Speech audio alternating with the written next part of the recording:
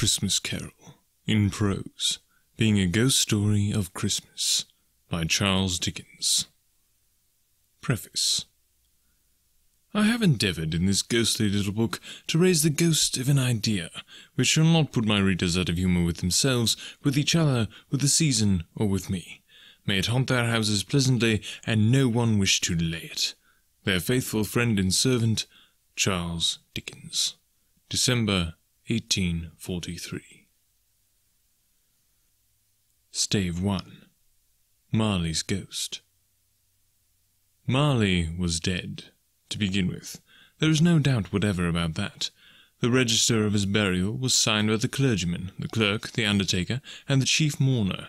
Scrooge signed it, and Scrooge's name was good upon change for anything he chose to put his hand to. Old Marley was as dead as a doornail. Mind, I don't mean to say that I know, of my own knowledge, what there is particularly dead about a door-nail. I might have been inclined myself to regard a coffin-nail as the deadest piece of ironmongery in the trade, but the wisdom of our ancestors is in the simile, and my unhallowed hand shall not disturb it, or the country is done for. You will therefore permit me to repeat emphatically that Marley was as dead as a door-nail. Scrooge knew he was dead. Of course he did. How could it be otherwise? Scrooge and he were partners for I don't know how many years. Scrooge was his sole executor, his sole administrator, his sole assign, his sole residuary legatee, his sole friend and sole mourner. And even Scrooge was not so dreadfully cut up by the sad event, but that he was an excellent man of business on the very day of the funeral, and solemnized it with an undoubted bargain. The mention of Marley's funeral brings me back to the point I started from. There is no doubt that Marley was dead. This must be distinctly understood, or nothing wonderful can come of the story I am going to relate. If we were not perfectly convinced that Hamlet's father died before the play began, there would be nothing more remarkable in his taking a stroll at night, in an easterly wind, upon his own ramparts, than there would be in any other middle-aged gentleman rashly turning out after dark in a breezy spot, say St. Paul's churchyard, for instance, literally to astonish his son's weak mind. Scrooge never painted out old Marley's name. There it stood, years afterwards, above the warehouse door. Scrooge and Marley. The firm was known as Scrooge and Marley. Sometimes people new to the business called Scrooge Scrooge, and sometimes Marley, but he answered to both names. It was all the same to him.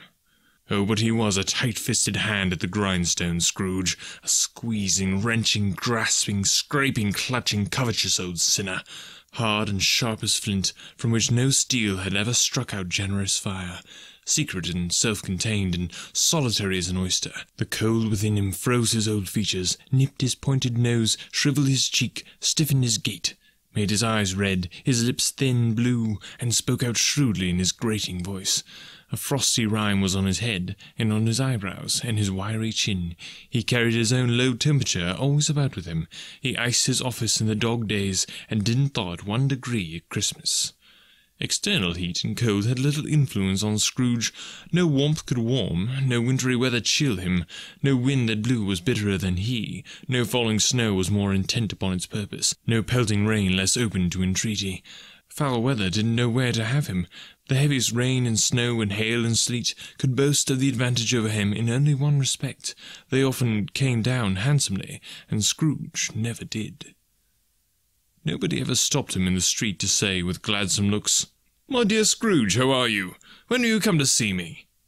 No beggars implored him to bestow a trifle. No children asked him what it was o'clock.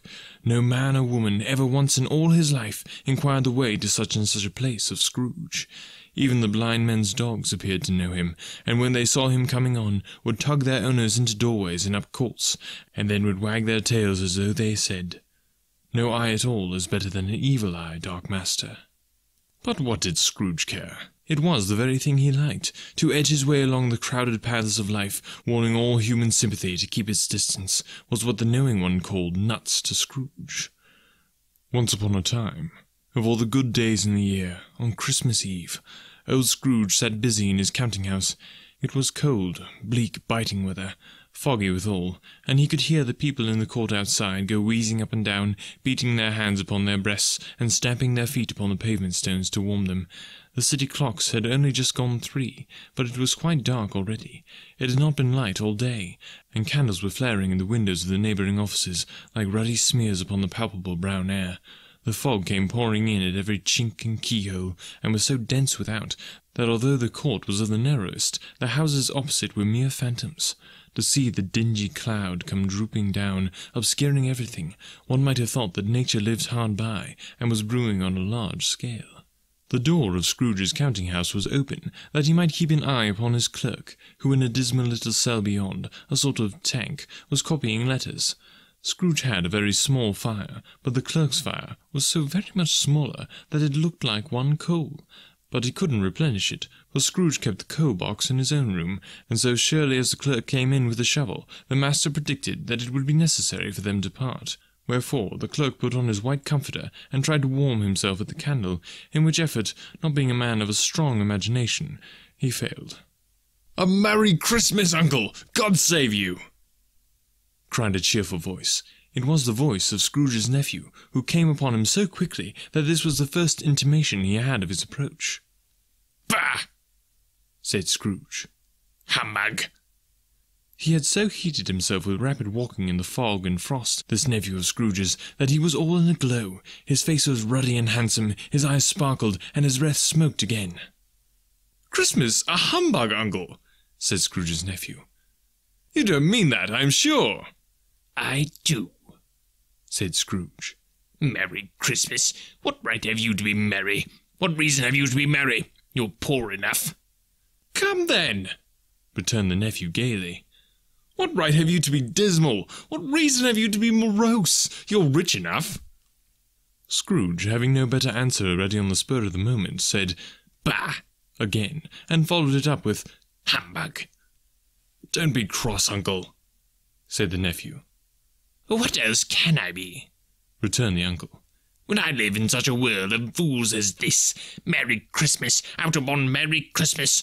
What's Christmas time to you but a time for paying bills without money, a time for finding yourself a year older but not an hour richer, a time for balancing your books and having every item in them a round dozen of months presented dead against you, if I could work my will, said Scrooge indignantly. Every idiot who goes about with Merry Christmas on his lips should be boiled in his own pudding and buried with a stake of holly through his heart. He should.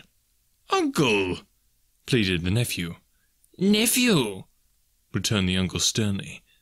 Keep Christmas in your own way, and let me keep it in mine. Keep it?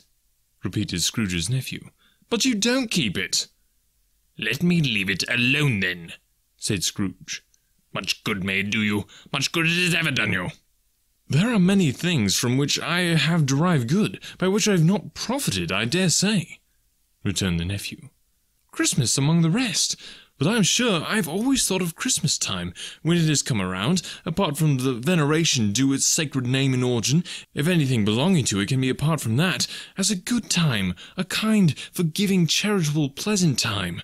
The only time I know of, in the long calendar of the year, when men and women seem by one consent to open their shut-up hearts freely, and to think of people below them as if they really were, fellow passengers to the grave, and not another race of creatures bound on other journeys and therefore, uncle, though it has never put a scrap of gold or silver in my pocket, I believe it has done me good, and will do me good, and I say, God bless it!" The clerk in the tank involuntarily applauded. Becoming immediately sensible of the impropriety, he poked the fire, and extinguished the last frail spark for ever. Let me hear another sound from you, said Scrooge, and you'll keep your Christmas by losing your situation. You're quite a powerful speaker, sir, he added, turning to his nephew. I wonder you don't go into Parliament. Don't be angry, uncle. Come, dine with us tomorrow. Scrooge said that he would see him. Yes, indeed he did. He went the whole length of the expression, and said that he would see him in that extremity first. But why? cried Scrooge's nephew. Why? Why did you get married? said Scrooge. Because I fell in love. Because you fell in love, growled Scrooge, as if that were the only one thing in the world more ridiculous than a Merry Christmas. Good afternoon. Nay, uncle, but you never came to see me before that happened. Why give it as a reason for not coming now? Good afternoon, said Scrooge. I want nothing from you. I ask nothing of you. Why cannot we be friends? Good afternoon, said Scrooge. I am sorry, with all my heart, to find you so resolute. We have never had any quarrel to which I have been a party, but I have made the trial in homage to Christmas, and I'll keep my Christmas humour to the last. So, a Merry Christmas, Uncle. Good afternoon, said Scrooge. And a Happy New Year. Good afternoon, said Scrooge. His nephew left the room without an angry word notwithstanding. He stopped at the outer door to bestow the greetings of the season on the clerk, who, cold as he was, was warmer than Scrooge, for he returned them cordially. There's another fellow, muttered Scrooge, who overheard him. My clerk, with fifteen shillings a week, and a wife and family, talking about a Merry Christmas. I'll retire to Bedlam. This lunatic, in letting Scrooge's nephew out, had let two other people in, they were portly gentlemen, pleasant to behold, and now stood with their hats off in Scrooge's office. They had books and papers in their hands, and bowed to him. Scrooge and Marley's, I believe, said one of the gentlemen, referring to his list. Have I the pleasure of addressing Mr. Scrooge or Mr. Marley? Mr. Marley has been dead these seven years, Scrooge replied. He died seven years ago this very night. We have no doubt his liberality is well represented by his surviving partner, said the gentleman, presenting his credentials. It certainly was, for they had been two kindred spirits. At the ominous word liberality, Scrooge frowned and shook his head, and handed the credentials back. At this festive season of the year, Mr. Scrooge, said the gentleman, taking up a pen, it is more than usually desirable that we should make some slight provision for the poor and destitute who suffer greatly at the present time. Many thousands are in want of common necessities. Hundreds of thousands are in want of common comforts, sir. Are there no prisons? asked Scrooge. Uh, plenty of prisons, said the gentleman, laying down the pen again. And the union workhouses? demanded Scrooge. Are they still in operation? They are still, returned the gentleman. I wish I could say they were not. The treadmill and the poor law are in full vigour then? said Scrooge. Both very busy, sir. Oh, I was afraid from what you said at first that something had occurred to stop them in their useful course, said Scrooge. I'm very glad to hear it under the impression that they scarcely furnish Christian cheer of mind or body to the multitude, returned the gentleman. A few of us are endeavouring to raise a fund to buy the poor some meat and drink and means of warmth. We choose this time because it is a time of all others when want is keenly felt and abundance rejoices. Uh, what shall I put you down for? Nothing, Scrooge replied. You wish to be anonymous? I wish to be left alone, said Scrooge. Since you ask me what I wish, gentlemen, that is my answer. I don't make myself merry at Christmas, and I can't afford to make idle people merry. I help to support the establishments I've mentioned. They cost enough, and those who are badly off must go there. Many can't go there, and many would rather die. If they would rather die, said Scrooge, they had better do it and decrease the surplus population. Besides, excuse me, I don't know that. But you might know it, observed the gentleman. It's not my business, Scrooge returned. It's enough for a man to understand his own business and not to interfere with other people's. Mine occupies me constantly. Good afternoon, gentlemen.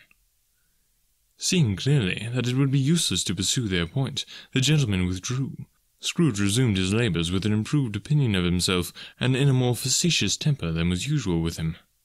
Meanwhile, the fog and darkness thickened so that people ran about with flaring links, proffering their services to go before horses and carriages and conduct them on their way. The ancient tower of a church, whose gruff old bell was always peeping slyly down at Scrooge out of the Gothic window in the wall, became invisible, and struck the hours and quarters in the clouds, with tremulous vibrations afterwards, as if its teeth were chattering in its frozen head up there. The cold became intense. In the main street, at the corner of the court, some labourers were repairing the gas pipes, and had lighted a great fire in a brazier, round which a party of ragged men and boys were gathered, warming their hands and winking their eyes before the blaze in rapture. The water plug being left in solitude, its overflowing suddenly congealed and turned to misanthropic ice. The brightness of the shops, where holly sprigs and berries crackled in the lamp heat of the windows, made pale faces ruddy as they passed. Poulterers and grocers' trades became a splendid joke, a glorious pageant, with which it was next to impossible to believe that such dull principles as bargain and sale had anything to do. The Lord Mayor, in the stronghold of the mighty mansion house, gave orders to his fifty cooks and butlers to keep Christmas as a Lord Mayor's household should, and even the little tailor, whom he had fined five shillings on the previous Monday for being drunk and bloodthirsty in the streets, stirred up tomorrow's pudding in his garret, while his lean wife and baby sallied out to buy beef. Foggier yet, and colder, piercing, surging, biting cold. If the good Saint Dunstan had but nipped the evil spirit's nose with a touch of such weather as that, instead of using his familiar weapons, then indeed he would have roared to lusty purpose. The owner of one scant young nose, gnawed and mumbled by the hungry cold as bones are gnawed by dogs, stooped down at Scrooge's keyhole to regale him with a Christmas carol, but at the first sound of God bless you, merry gentlemen, may nothing you dismay. Scrooge seized the ruler with such energy of action that the singer fled in terror, leaving the keyhole to the fog and even more congenial frost. At length, the hour of shutting up the counting house arrived. With an ill will, Scrooge dismounted from his stool, and tacitly admitted the fact to the expectant clerk in the tank, who instantly snuffed his candle out and put on his hat. You shall want all day tomorrow, I suppose said Scrooge. If quite convenient, sir. It's not convenient, said Scrooge. And it's not fair. If I was to stop half a crown for it, you'd think yourself ill used, I'll be bound. The clerk smiled faintly. And yet, said Scrooge, you don't think me ill used when I pay a day's wages for no work. The clerk observed that it was only once a year. A poor excuse for picking a man's pocket every twenty-fifth of December said Scrooge, buttoning his great coat to the chin. But I suppose you must have the whole day. Be here all the earlier the next morning. The clerk promised that he would, and Scrooge walked out with a growl. The office was closed in a twinkling, and the clerk, with the long ends of his white comforter dangling below his waist, for he boasted no greatcoat, went down a slide on Cornhill at the end of a lane of boys twenty times in honour of it being Christmas Eve, and then ran home to Camden Town as hard as he could pelt to play at Blindman's Bluff.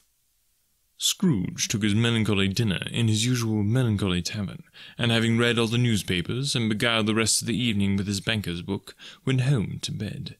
He lived in chambers which had once belonged to his deceased partner, they were a gloomy suite of rooms, in a lowering pile of buildings up a yard, where it had so little business to be, that one could scarcely help fancying it must have run there when it was a young house, playing at hide and seek with other houses, and forgotten the way out again. It was old enough now, and dreary enough, for nobody lived in it but Scrooge, the other rooms being all let out as offices. The yard was so dark that even Scrooge, who knew its every stone, was fain to grope with his hands. The fog and frost so hung about the black oak gateway of the house that it seemed as if the genius of the weather sat in a mournful meditation on the threshold. Now, it is a fact that there was nothing at all particular about the knocker on the door, except that it was very large. It is also a fact that Scrooge had seen it, night and morning, during his whole residence in that place. Also, that Scrooge had as little of what is called fancy about him as any man in the city of London, even including, which is a bold word, the corporation, aldermen in livery. Let it also be borne in mind that Scrooge had not bestowed one thought on Marley since his last mention of his seven years dead partner that afternoon. And then, let any man explain to me, if he can, how it happened that Scrooge, having his key in the lock of the door, saw in the knocker, without its undergoing any immediate process of change, not a knocker, but Marley's face. Marley's face. It was not an impenetrable shadow as the other objects in the yard were, but had a dismal light about it, like a bad lobster in a dark cellar. It was not angry or ferocious, but looked at Scrooge, as Marley used to look, with ghostly spectacles turned up on his ghostly forehead. The hair was curiously stirred, as if by breath or hot air, and though the eyes were wide open, they were perfectly motionless. That, and his livid colour made it horrible. But its horror seemed to be in spite of the face and beyond its control, rather than a part of its own expression. As Scrooge looked fixedly at this phenomenon, it was a knocker again. To say that he was not startled, or that his blood was not conscious of a terrible sensation to which it had been a stranger from infancy, would be untrue. But he put his hand upon the key he had relinquished, turned it steadily, walked in, and lighted his candle. He did pause, with a moment's irresolution, before he shut the door, and he did look cautiously behind it first, as if he half expected to be terrified with the sight of Marley's pigtails sticking out into the hall. But there was nothing on the back of the door, except the screws and nuts that held the knocker on. So he said, Pah! Pah! and closed it with a bang. The sound resounded through the house like thunder. Every room above, and every cask in the wine merchant's cellar below, appeared to have a separate peal of echoes of its own. Scrooge was not a man to be frightened by echoes. He fastened the door, and walked across the hall and up the stairs, slowly too, trimming his candle as he went. You may talk vaguely about driving a coach and six up a good old flight of stairs, or through a bad young Act of Parliament, but I mean to say, you might have got a hearse up that staircase, and taken it broadwise, with the splinter bar towards the wall, and the door towards the balustrades, and done it easy. There was plenty of width for that, and room to spare, which is perhaps the reason why Scrooge thought he saw a locomotive hearse going on before him in the gloom. Half a dozen gas lamps out on the street wouldn't have lighted the entry too well, so you may suppose that it was pretty dark with Scrooge's dip. Up Scrooge went, not caring a button for that. Darkness is cheap, and Scrooge liked it, but before he shut his heavy door, he walked through his rooms to see that all was right. He had just enough recollection of the face to desire to do that. Sitting room, bedroom, lumber room, all as they should be. Nobody under the table, nobody under the sofa, a small fire in the grate, spoon and basin ready, and the little saucepan of gruel Scrooge had a coal in his head upon the hob. Nobody under the bed, nobody in the closet, nobody in his dressing gown, which was hanging up in a suspicious attitude against the wall. Lumber room as usual, old fire guard, old shoes, two fish baskets, washing stand on three legs, and a poker. Quite satisfied, he closed his door and locked himself in double locked himself in, which was not his custom. Thus secured against surprise, he took off his cravat, put on his dressing gown and slippers, and his nightcap, and sat down before the fire to take his gruel. It was a very low fire indeed, nothing on such a bitter night. He was obliged to sit close to it, and brood over it, before he could extract the least sensation of warmth from such a handful of fuel. The fireplace was an old one, built by some Dutch merchant long ago, and paved all round with quaint Dutch tiles, designed to illustrate the Scriptures. There were Cains and Abels, Pharaoh's daughters, queens of Sheba, angelic messengers descending through the air on clouds like feather beds, Abrahams, Belshazzars, apostles putting off to sea in butter boats, hundreds of figures to attract his thoughts. And yet, that face of Marley, seven years dead, came like the ancient prophet's rod and swallowed up the whole. If each smooth tile had been a blank at first, with power to shape some picture on its surface from the disjointed fragments of his thoughts, there would have been a copy of old Marley's head on every one. Humbug! said Scrooge, and walked across the room. After several turns, he sat down again. As he threw his head back in the chair, his glance happened to rest upon a bell a disused bell that hung in the room, and communicated for some purpose now forgotten with a chamber in the higher story of the building. It was with great astonishment, and with a strange, inexplicable dread, that as he looked he saw this bell begin to swing. It swung so softly in the outset that it scarcely made a sound, but soon it rang out loudly, and so did every bell in the house. This might have lasted half a minute, or a minute, but it seemed an hour, the bells ceased as they had begun, together. They were succeeded by a clanking noise, deep down below, as if some person were dragging a heavy chain over the casks in the wine merchant's cellar. Scrooge then remembered to have heard that ghosts in haunted houses were described as dragging chains. The cellar door flew open with a booming sound, and then he heard the noise much louder, on the floors below, then coming up the stairs, then coming straight towards his door. It's humbug still, said Scrooge. I won't believe it. His colour changed, though, when, without a pause, it came through the heavy door, and passed into the room before his eyes. Upon its coming in, the dying flame leaped up as though it cried, I know him, Marley's ghost, and fell again. The same face, the very same. Marley in his pigtail, usual waistcoat, tights and boots, the tassels on the latter bristling, like his pigtail and his coat skirts, and the hair upon his head. The chain he drew was clasped about his middle. It was long, and wound about him like a tail, and it was made, for Scrooge observed it closely, of cash boxes, keys, padlocks, ledgers, deeds, and heavy purses wrought in steel.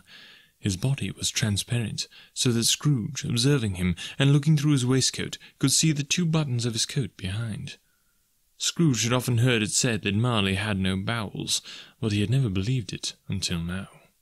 No, nor did he believe it even now, though he looked on the phantom through and through, and saw it standing before him, though he felt the chilling influence of his death-cold eyes, and marked the very texture of the folded kerchief bound about its head and chin, which wrapper he had not observed before, he was still incredulous, and fought against his senses. Ha! Now, said Scrooge, caustic and cold as ever. What do you want with me? March. Marley's voice, no doubt about it. Who are you? Ask me who I was. Who were you then? said Scrooge, raising his voice. You're particular for a shade. He was going to say to a shade, but substituted this as more appropriate. In life, I was your partner, Jacob Marley. Can you. can you sit down? asked Scrooge, looking doubtfully at him. I can. Do it then. Scrooge asked the question because he did not know whether a ghost so transparent might find himself in a condition to take a chair, and felt that in the event of its being impossible, it might involve the necessity of an embarrassing explanation. But the ghost sat down on the opposite side of the fireplace, as if he were quite used to it. You don't believe in me, observed the ghost. I don't, said Scrooge. What evidence would you have of my reality beyond that of your senses? I don't know, said Scrooge. Why do you doubt your senses? Because, said Scrooge, a little thing affects them. A slight disorder of the stomach makes them cheats. You may be an undigested bit of beef, a blot of mustard, a crumb of cheese, a fragment of an underdone potato. There's more of gravy than of grave about you, whatever you are. Scrooge was not in the habit of cracking jokes, nor did he feel in his heart by any means waggish then. The truth is that he tried to be smart, as a means of distracting his own attention and keeping down his terror for the spectre's voice disturbed the very marrow in his bones. To sit, staring at those fixed, glazed eyes, in silence for a moment would play, Scrooge felt, the very deuce with him. There was something very awful, too, in the spectre's being provided with an infernal atmosphere of its own. Scrooge could not feel it himself, but this was clearly the case, for though the ghost sat perfectly motionless, its hair and skirts and tassels were still agitated as by the hot vapour from an oven. You see this toothpick? Said Scrooge, returning quickly to the charge for the reason just assigned, and wishing, though it were only for a second, to divert the vision's stony gaze from himself. I do, replied the ghost. You're not looking at it, said Scrooge. But I see it, said the ghost. Notwithstanding. Well, returned Scrooge, I have but to swallow this, and be for the rest of my days persecuted by a legion of goblins, all of my own creation. Humbug, I tell you, humbug! At this, the spirit raised a frightful cry, and shook its chain with such a dismal and appalling noise that Scrooge held on tight to his chair to save himself from falling in a swoon. But how much greater was his horror when the phantom, taking off the bandage round its head, as if it were too warm to wear indoors, its lower jaw dropped down upon its breast. Scrooge fell upon his knees and clasped his hands before his face. Mercy, he said. Dreadful apparition, why do you trouble me? Man of the worldly mind, replied the ghost. Do you believe in me or not? I do, said Scrooge. I must. Uh, but why do spirits walk the earth, and why do they come to me? It is required of every man, the ghost returned, that the spirit within him should walk abroad among his fellow men and travel far and wide. And if that spirit goes not forth in life, it is condemned to do so after death. It is doomed to wander through the world. Oh, woe is me! And witness what it cannot share, but might have shared on earth and turn to happiness. Again the spectre raised a cry and shook its chain and wrung its shadowy hands. You are fettered, said Scrooge, trembling. Tell me why. I wear the chain I forged in life, replied the ghost. I made it link by link and yard by yard. I girded it on of my own free will, and of my own free will I wore it. Is its pattern strange to you? Scrooge trembled more and more. Or would you know, pursued the ghost, the weight and length of the strong coil you bear yourself? It was full and heavy, and as long as this seven Christmas Eves ago, you have labored on it since. It is a ponderous chain. Scrooge glanced about him on the floor in the expectation of finding himself surrounded by some fifty or sixty fathoms of iron cable, but he could see nothing. Jacob, he said imploringly. Oh, Jacob Marley, tell me more. Speak comfort to me, Jacob.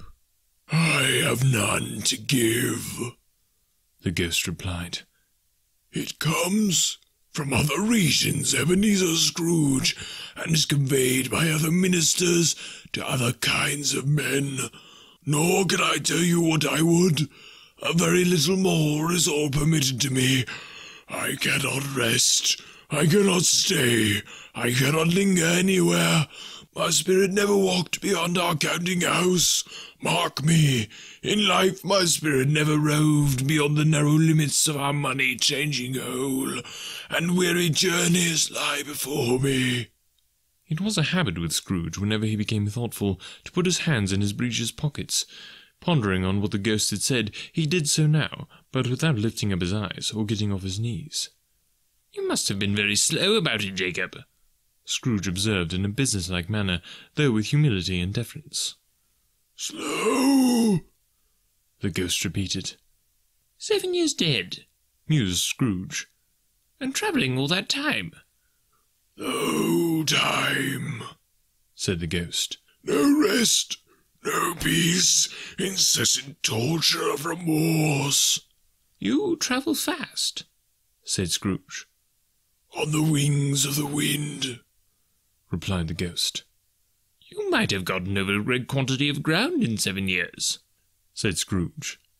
The ghost, on hearing this, set up another cry, and clanked its chain so hideously in the dead silence of the night that the ward would have been justified in indicting it for a nuisance.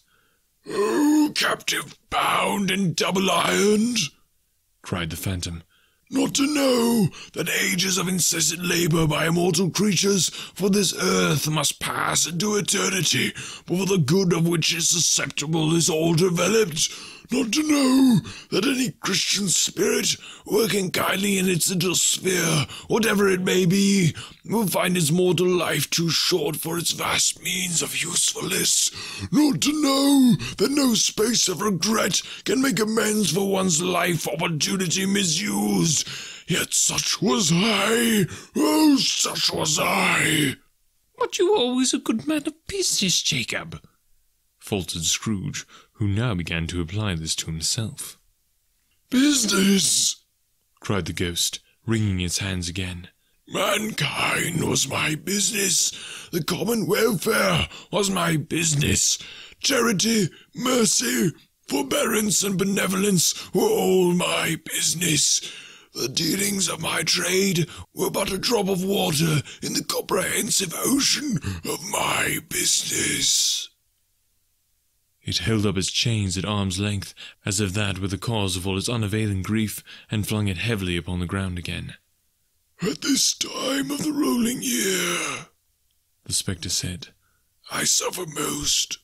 Why did I walk through the crowds of fellow beings with my eyes turned down, and never raise them to bless the star which led the wise men to a poor abode, whither no poor homes to which his light could have conducted me? Scrooge was very much dismayed to hear the spectre going on at this rate, and began to quake exceedingly. Hear me! cried the ghost. My time is nearly gone. I will, said Scrooge. But don't be hard upon me. Don't be flowery, Jacob, pray. How it is that I appear before you in a shape that you can see, I may not tell.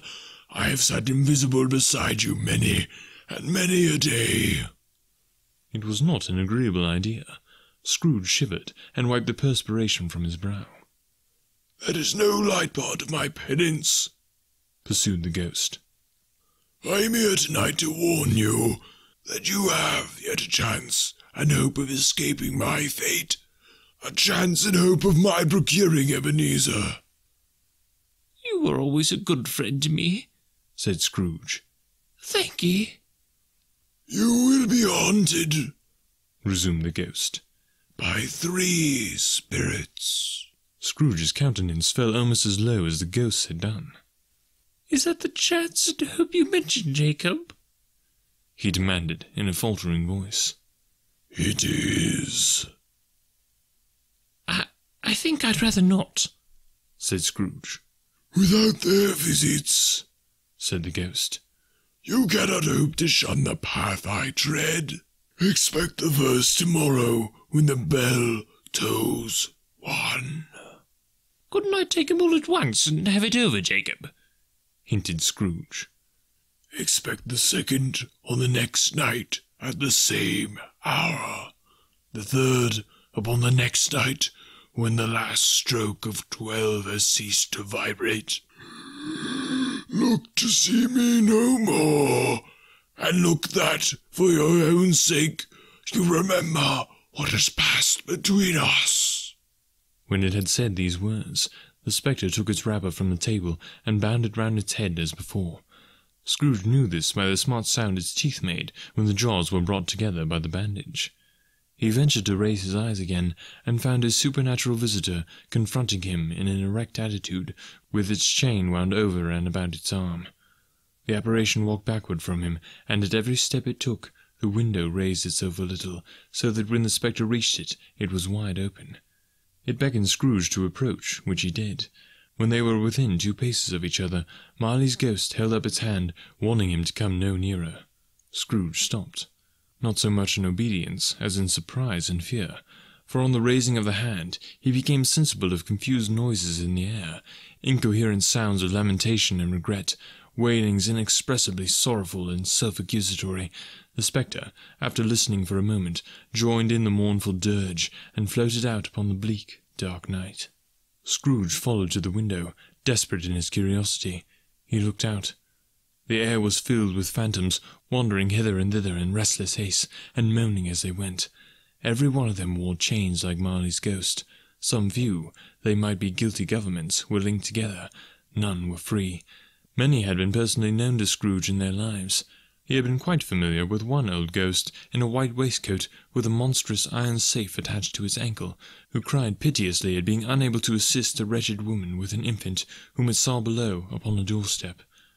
The misery with them all was, clearly, that they sought to interfere for good in human matters, and had lost the power for ever. Whether these creatures faded into mist, or mist enshrouded them, he could not tell, but they and their spirit voices faded together, and the night became as it had been when he walked home. Scrooge closed the window, and examined the door by which the ghost had entered. It was double locked, as he had locked it with his own hands, and the bolts were undisturbed. He tried to say humbug, but stopped at the first syllable, and being, from the emotion he had undergone, or the fatigues of the day, or his glimpse of the invisible world, or the dull conversation of the ghost, or the lateness of the hour, much in need of repose, went straight to bed, without undressing, and fell asleep upon the instant. Stave 2 The first of the three spirits. When Scrooge awoke, it was so dark that looking out of bed, he could scarcely distinguish the transparent window from the opaque wall of his chamber. He was endeavouring to pierce the darkness with his ferret eyes, when the chimes of a neighbouring church struck the four quarters, so he listened for the hour. To his great astonishment, the heavy bell went on from six to seven, and from seven to eight, and regularly up to twelve, then stopped. Twelve! It was past two when he went to bed. The clock was wrong. An icicle must have got into the works. Twelve! He touched the spring of his repeater to correct this most preposterous clock. His rapid little pulse beat twelve, and stopped. Why, it isn't possible, said Scrooge. That I can have slept through a whole day, and far into another night. It is impossible that anything has happened to the sun, and this is twelve at noon. The idea being an alarming one, he scrambled out of bed and groped his way to the window. He was obliged to rub the frost off with the sleeve of his dressing gown before he could see anything, and could see very little then. All he could make out was that it was still very foggy and extremely cold, and that there was no noise of people running to and fro and making a great stir, as there unquestionably would have been if night had beaten off bright day and taken possession of the world. This was a great relief, because three days after sight of this first of exchange paid to Mr. Ebenezer Scrooge or his order, and so forth, would have become a mere United States security if there was no days to count by. Scrooge went to bed again, and thought and thought and thought it over and over and over, and could make nothing of it. The more he thought, the more perplexed he was, and the more he endeavoured not to think, the more he thought. Marley's ghost bothered him exceedingly. Every time he resolved within himself, after mature inquiry, that it was all a dream, his mind flew back again, like a strong spring released, to its first position, and presented the same problem to be worked all through. Was it a dream or not? Scrooge lay in this state until the chime had gone three quarters more, when he remembered, on a sudden, that the ghost had warned him of a visitation when the bell tolled one. He resolved to lie awake until the hour was past, and considering he could no more go to sleep than go to heaven, this was perhaps the wisest resolution in his power.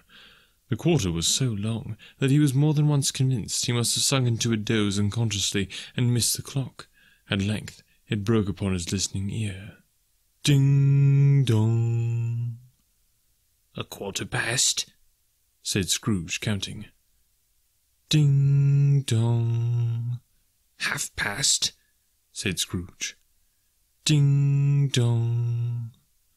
A quarter to it, said Scrooge.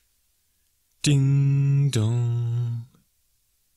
The hour itself, said Scrooge triumphantly, and nothing else. He spoke before the hour bell sounded, which it now did with a deep, dull, hollow, melancholy one. Light flashed up in the room upon the instant, and the curtains of his bed were drawn. The curtains of his bed were drawn aside, I tell you, by a hand, not the curtains at his feet, nor the curtains at his back, but those to which his face was addressed.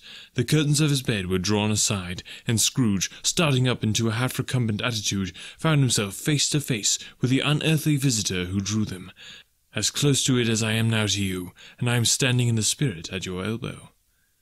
It was a strange figure, like a child, yet not so like a child as an old man, viewed through some supernatural medium, which gave him the appearance of having receded from the view and being diminished to a child's proportions.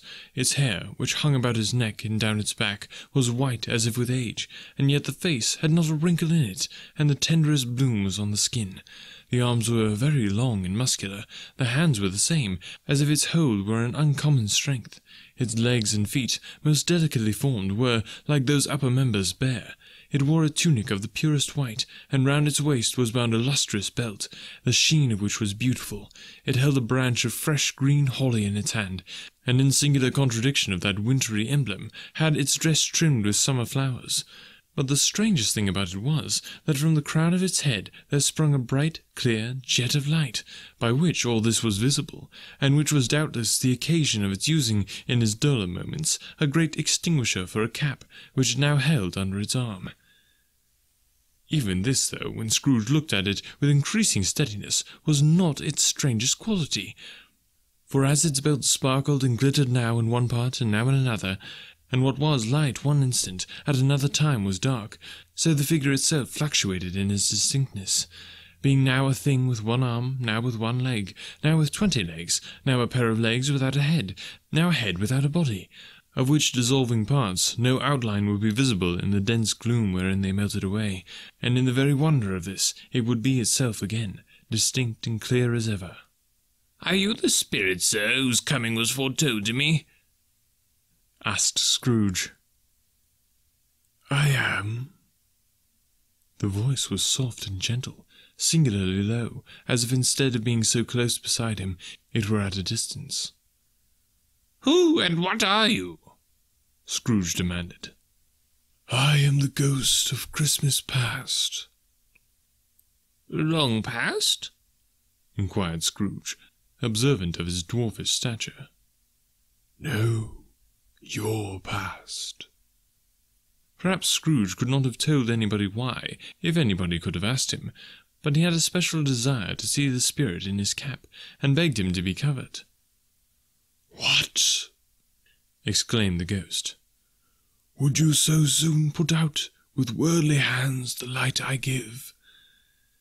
Is it not enough that you are one of those whose passions made this cap, and forced me through whole trains of years to wear it low upon my brow? Scrooge reverently disclaimed all intention to offend, or any knowledge of having wilfully bonneted the spirit at any period in his life. He then made bold to inquire what business brought him there.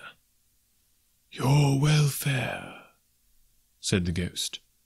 Scrooge expressed himself much obliged, but could not help thinking that a night of unbroken rest would have been more conducive to that end. The spirit must have heard him thinking, for it said immediately, Your reclamation, then. Take heed. It put out its strong hand as it spoke, and clasped him gently by the arm. Rise and walk with me. It would have been in vain for Scrooge to plead that the weather and the hour were not adapted to pedestrian purposes, that bed was warm and the thermometer a long way below freezing, that he was clad but lightly in his slippers, dressing gown, and nightcap, and that he had a cold upon him at that time. The grasp, though gentle as a woman's hand, was not to be resisted. He rose, but finding the spirit made towards the window, clasped his robe in supplication. I am immortal, Scrooge remonstrated and liable to fall. Bear but a touch of my hand there, said the spirit, laying it upon his heart, and you shall be upheld in more than this.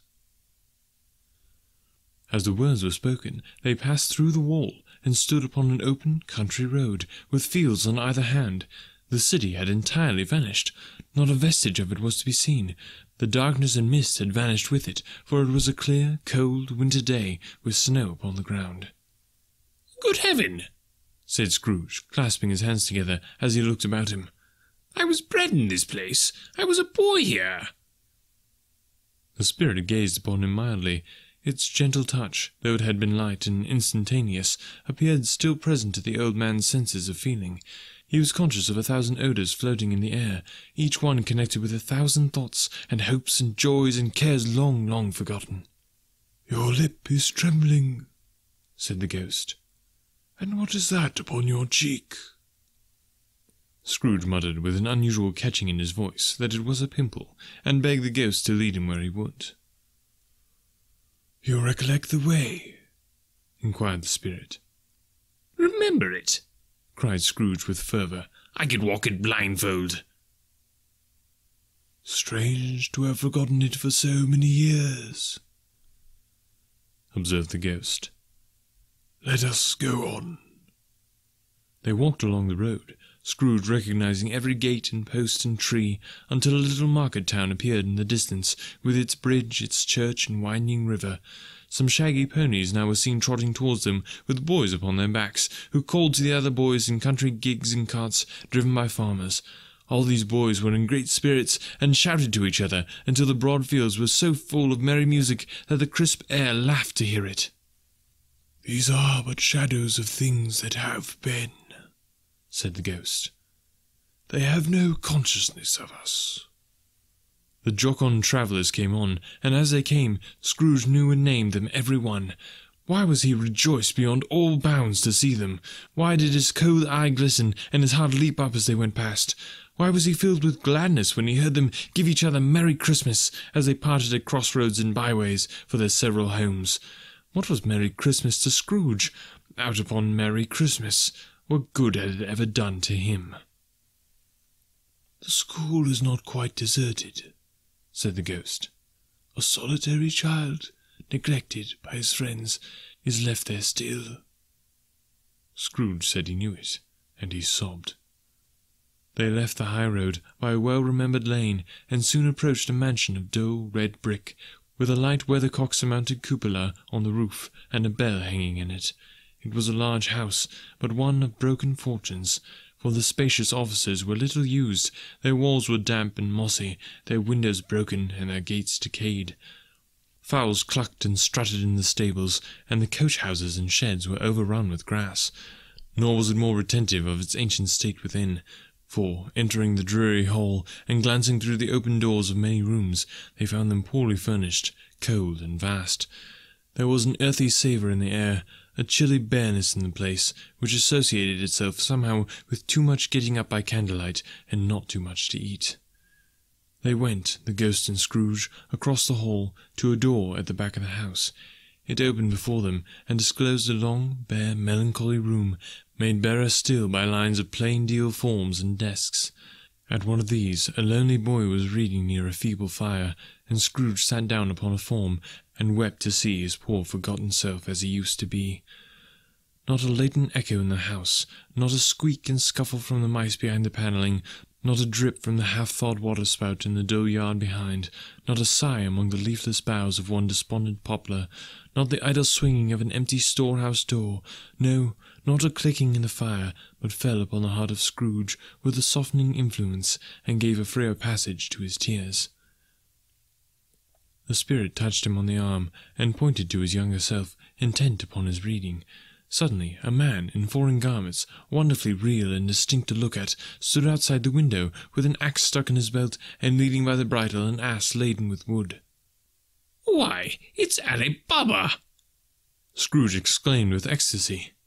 It's dear old honest Ali Baba. Yes, yes, I know. Oh, one Christmas time, when yonder solitary child was left here all alone, he did come for the first time just like that. Poor boy. And Valentine, said Scrooge, and his wild brother Orson. There they go. And what's his name, who was put down in his drawers asleep at the gate of Damascus? Don't you see him? And the Sultan's groom turned upside down by the genie, and there he is upon his head. Serve him right. I'm glad of it. What business had he to be married to the princess? To hear Scrooge expending all the earnestness of his nature on such subjects, in a most extraordinary voice between laughing and crying, and to see his heightened and excited face, would have been a surprise to his business friends in the city indeed. There's the parrot, cried Scrooge green body and yellow tail, with a thing like a lettuce growing at the top of his head. And there he is. Poor Robin Crusoe, he called him, when he came home again after sailing round the island. Poor Robin Crusoe, where have you been, Robin Crusoe?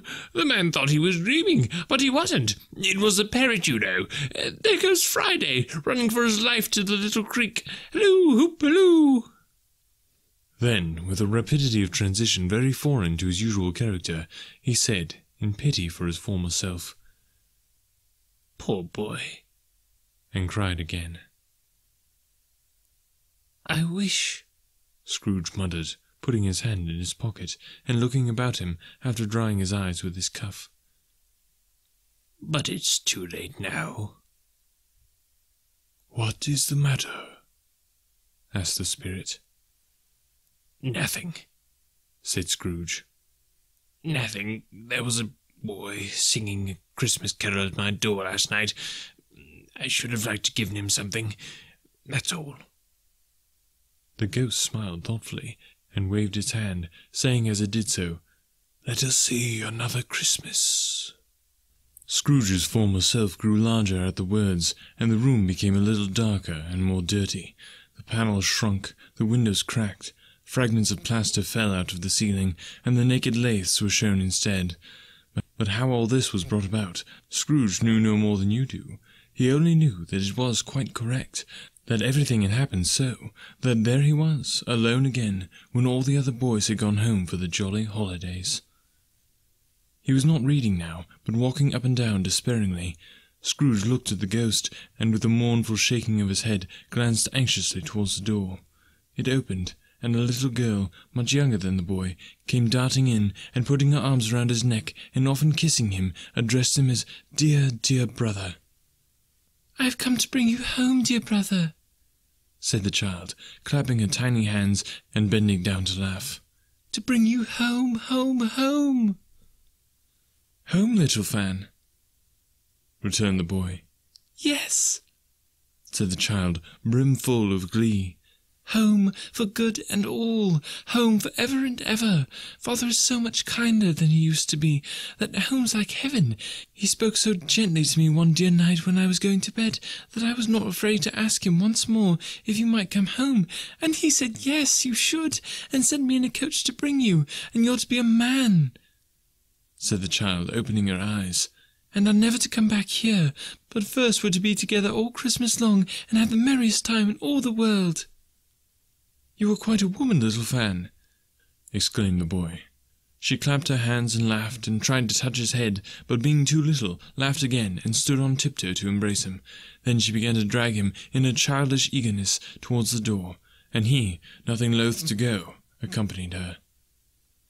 A terrible voice in the hall cried, Bring down Master Scrooge's books there and in the hall appeared the schoolmaster himself, who glared on Master Scrooge with a ferocious condescension, and threw him into a dreadful state of mind by shaking hands with him. He then conveyed him and his sister into the veriest old well of a shivering best parlour that ever was seen, where the maps upon the wall, and the celestial and terrestrial globes in the windows were waxy with cold.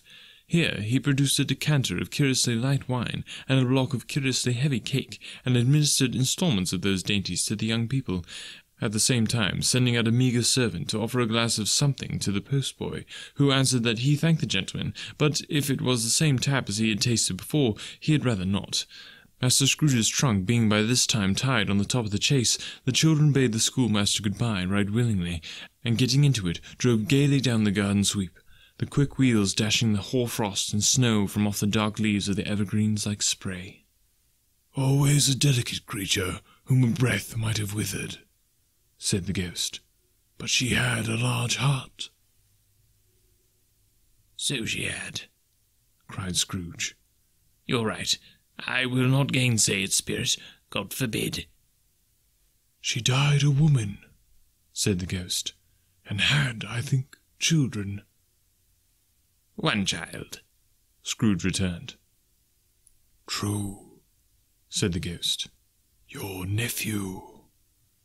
Scrooge seemed uneasy in his mind, and answered briefly, Yes.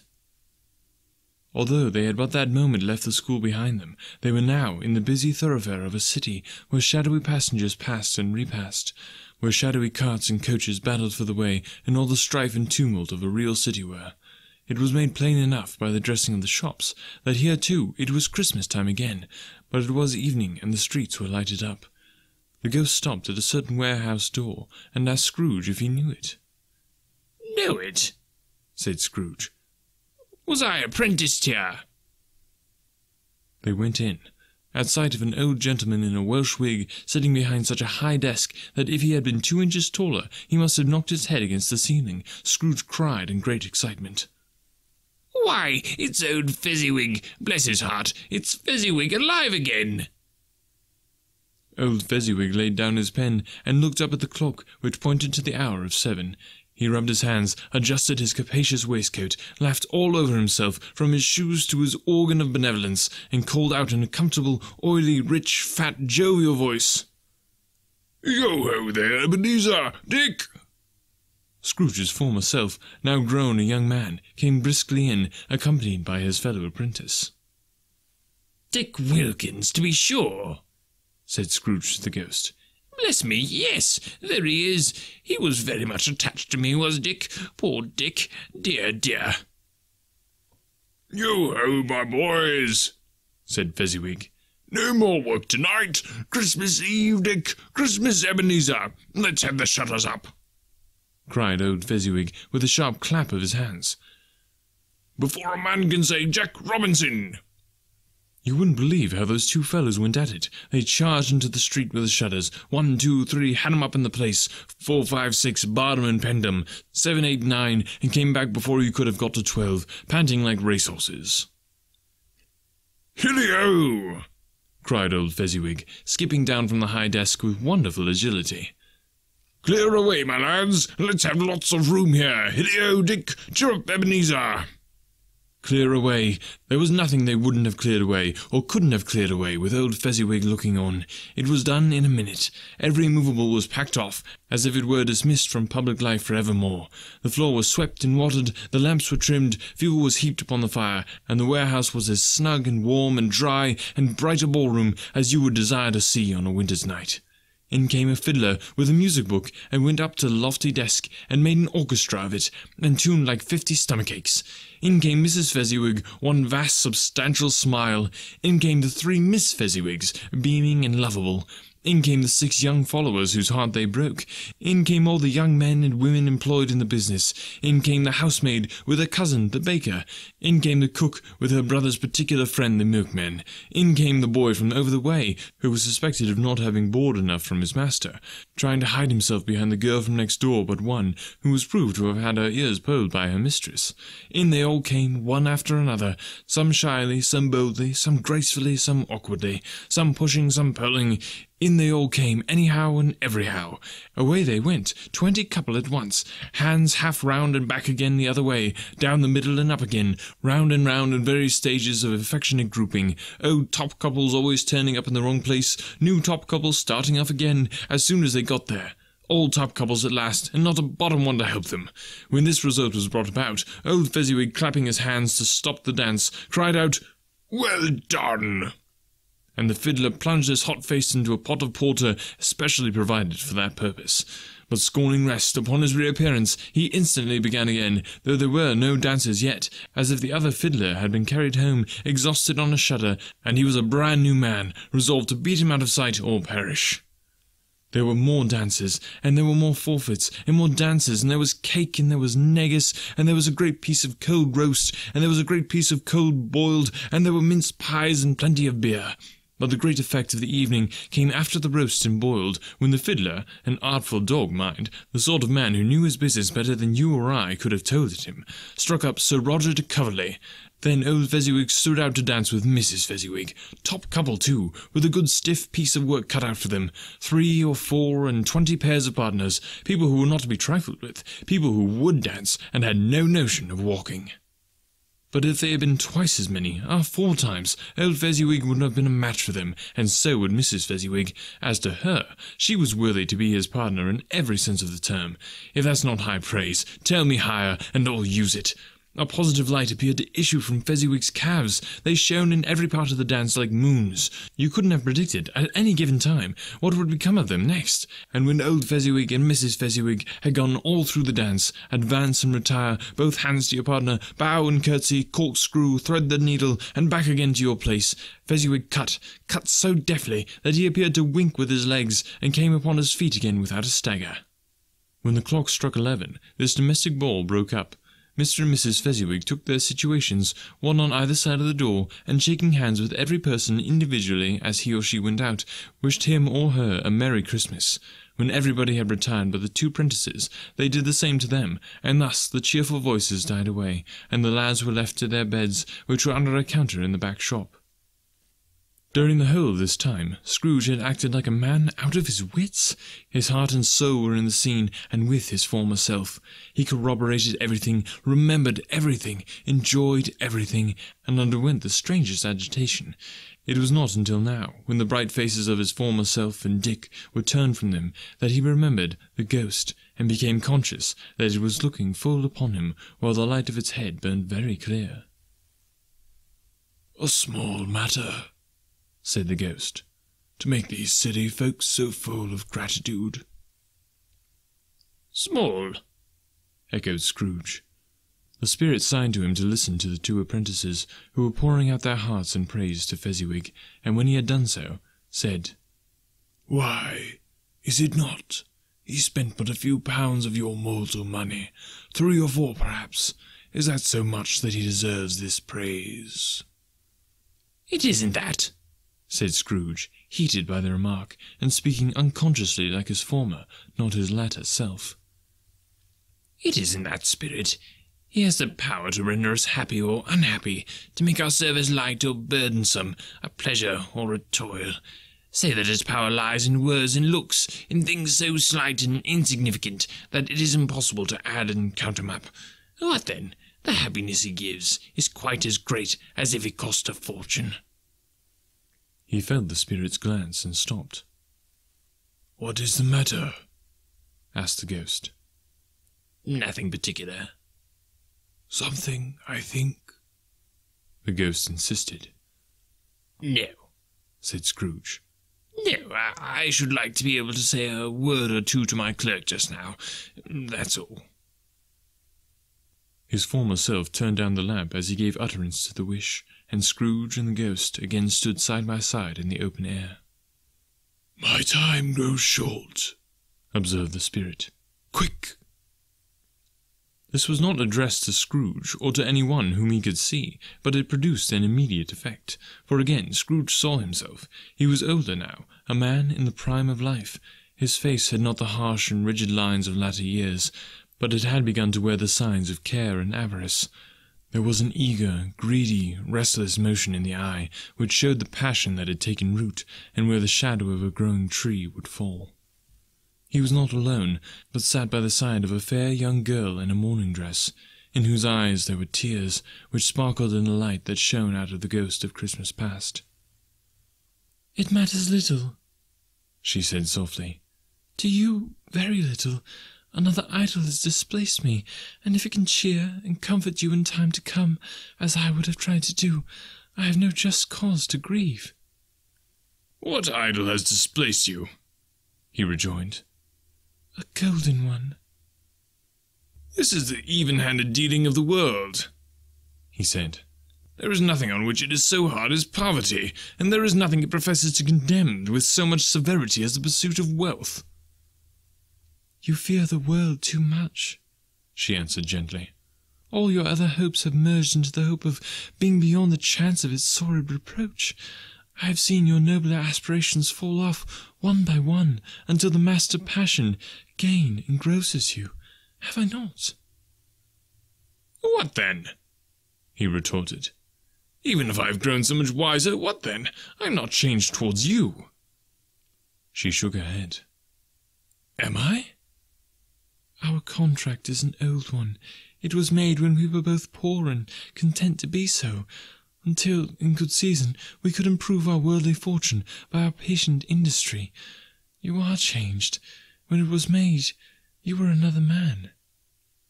I was a boy, he said impatiently. Your own feeling tells you that you were not what you are.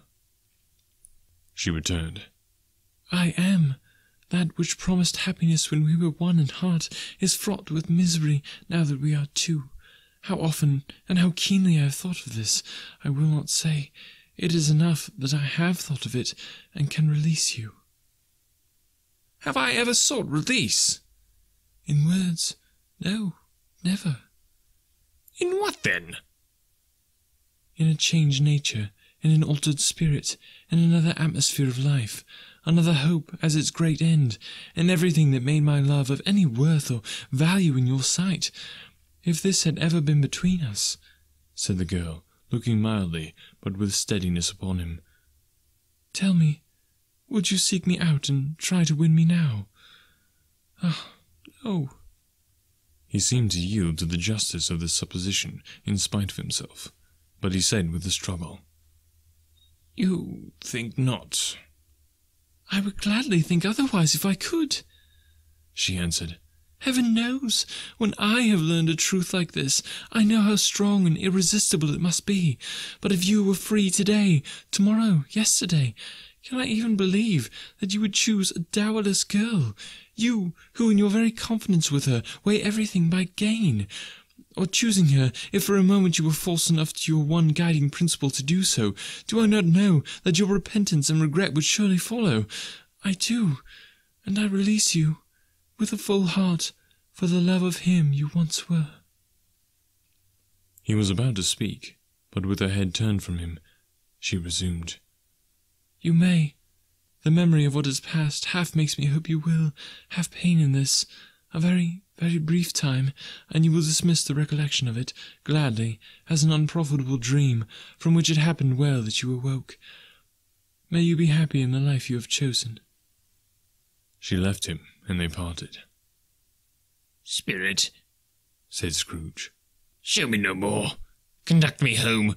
Why do you delight to torture me? One shadow more, exclaimed the ghost. No more, cried Scrooge. No more. I don't wish to see it. Show me no more. But the relentless ghost pinioned him in both arms and forced him to observe what happened next. They were in another scene and place, a room not very large or handsome, but full of comfort. Near to the winter fire sat a beautiful young girl, so like the last that Scrooge believed it was the same, until he saw her, now a comely matron, sitting opposite her daughter. The noise in this room was perfectly tumultuous, for there were more children there than Scrooge in his agitated state of mind could count, and unlike the celebrated herd in the poem, they were not forty children conducting themselves like one, but every child was conducting itself like forty. The consequences were uproarious beyond belief, but no one seemed to care. On the contrary, the mother and daughter laughed heartily, and enjoyed it very much, and the latter, soon beginning to mingle in the sports, got pillaged by the young brigands most ruthlessly. What would I not have given to be one of them? Though I never could have been so rude. No, no. I wouldn't for the wealth of all the world have crushed that braided hair and torn it down. And for the precious little shoe, I wouldn't have plucked it off. God bless my soul, to save my life. As to measuring her waist in sport as they did, bold young brood, I couldn't have done it. I should have expected my arm to have grown rounded for a punishment, and never come straight again. And yet I should have dearly liked, I own, to have touched her lips, to have questioned her, that she might have opened them, to have looked upon the lashes of her downcast eyes, and never raised a blush, to have let loose waves of hair, an inch of which would have been a keepsake beyond price. In short, I should have liked, I do confess, to have had the lightest license of a child, and yet to have been man enough to know its value. But now, knocking at the door was heard, and such a rush immediately ensued that she, with laughing face and plundered dress, was borne towards it at the centre of a flushed and boisterous group, just in time to greet the father, who came home attended by a man laden with Christmas toys and presents. Then the shouting and the struggling, and the onslaught that was made on the defenceless porter, the scaling him with chairs for ladders to dive into his pockets, despoil him of his brown paper parcels, hold on tight to his cravat, hug him round his neck, pommel his back, and kick his legs in irrepressible affection, the shouts of wonder and delight with which the development of every package was received, the terrible announcement that the baby had been taken in the act of putting a doll's frying pan in his mouth, and was more than suspected of having swallowed a fictitious turkey glued on a wooden platter the immense relief of finding this a false alarm, the joy and gratitude and ecstasy, they were all indescribable alike. It is enough that by degrees the children and their emotions got out of the parlour, and by one stair at a time up to the top of the house, where they were to bed, and so subsided. And now Scrooge looked on more attentively than ever, when the master of the house, having his daughter leaning fondly on him, sat down with her and her mother at their own fireside. And when he thought that such another creature, quite as graceful and as full of promise, might have called him father, and been a springtime in the haggard winter of his life, his sight grew very dim indeed. Belle, said the husband, turning to his wife with a smile, I saw an old friend of yours this afternoon. Who was it? Guess. How can I? Tut, I don't know. She added in the same breath, laughing as he laughed. Mr. Scrooge? Mr. Scrooge it was. I passed his office window, and it was not shut up, and he had a candle inside. I could scarcely help seeing him. His partner lies upon the point of death, I hear, and there he sat alone, quite alone in the world, I do believe. Spirit, said Scrooge in a broken voice, remove me from this place. I told you these were shadows of things that have been, said the ghost. That they are what they are, do not blame me. Remove me, Scrooge exclaimed. I cannot bear it. He turned upon the ghost, and seeing that it looked upon him with a face in which, in some strange way, there were fragments of all the faces it had shown him, wrestled with him. Leave me! Take me back! Haunt me no longer!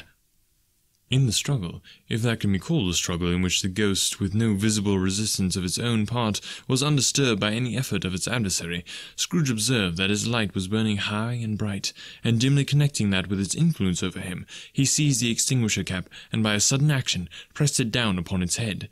The spirit dropped beneath it, so that the extinguisher covered its whole form, but though Scrooge pressed it down with all his force, he could not hide the light, which streamed from under it in an unbroken flood upon the ground. He was conscious of being exhausted and overcome by an irresistible drowsiness, and further, of being in his own bedroom. He gave the cap a parting squeeze, in which his hands relaxed, and had barely time to reel to bed before he sank into a heavy sleep.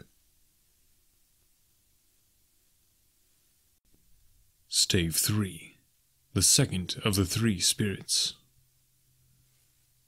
Awaking in the middle of a prodigiously tough snore, and sitting up in bed to get his thoughts together, Scrooge had no occasion to be told that the bell was again upon the stroke of one.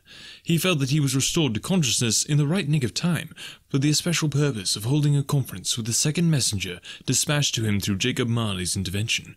But finding that he turned uncomfortably cold when he began to wonder which of his curtains this new spectre would draw back, he put them every one aside with his own hands, and lying down again, established a sharp lookout all round the bed, for he wished to challenge the spirit on the moment of its appearance, and did not wish to be taken by surprise and made nervous.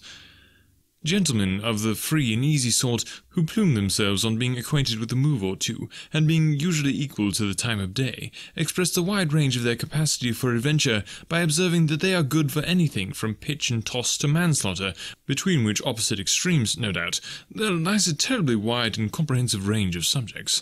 Without venturing for Scrooge quite as heartily as this, I don't mind calling on you to believe that he was ready for a good broad field of strange appearances, and that nothing between a baby and a rhinoceros would have astonished him very much. Now, being prepared for almost anything, he was not by any means prepared for nothing, and consequently, when the bell struck one, and no shape appeared, he was taken with a violent fit of trembling. Five minutes, ten minutes, a quarter of an hour went by, yet nothing came. All this time he lay upon his bed, the very core and centre of a blaze of ruddy light, which streamed upon it when the clock proclaimed the hour, and which, being only light, was more alarming than a dozen ghosts, as he was powerless to make out what it meant, or would be at, and was sometimes apprehensive that he might be at that very moment an interesting case of spontaneous combustion without having the consolation of knowing it. At last, however, he began to think, as you or I would have thought at first, for it is always the person not in the predicament who knows what ought to have been done in it, and would unquestionably have done it too. At last, I say, he began to think that the source and secret of this ghostly light might be in the adjoining room, from whence, on further tracing it, it seemed to shine. This idea taking full possession of his mind, he got up softly, and shuffled in his slippers to the door. The moment Scrooge's hand was on the lock, a strange voice called him by his name and bade him enter. He obeyed.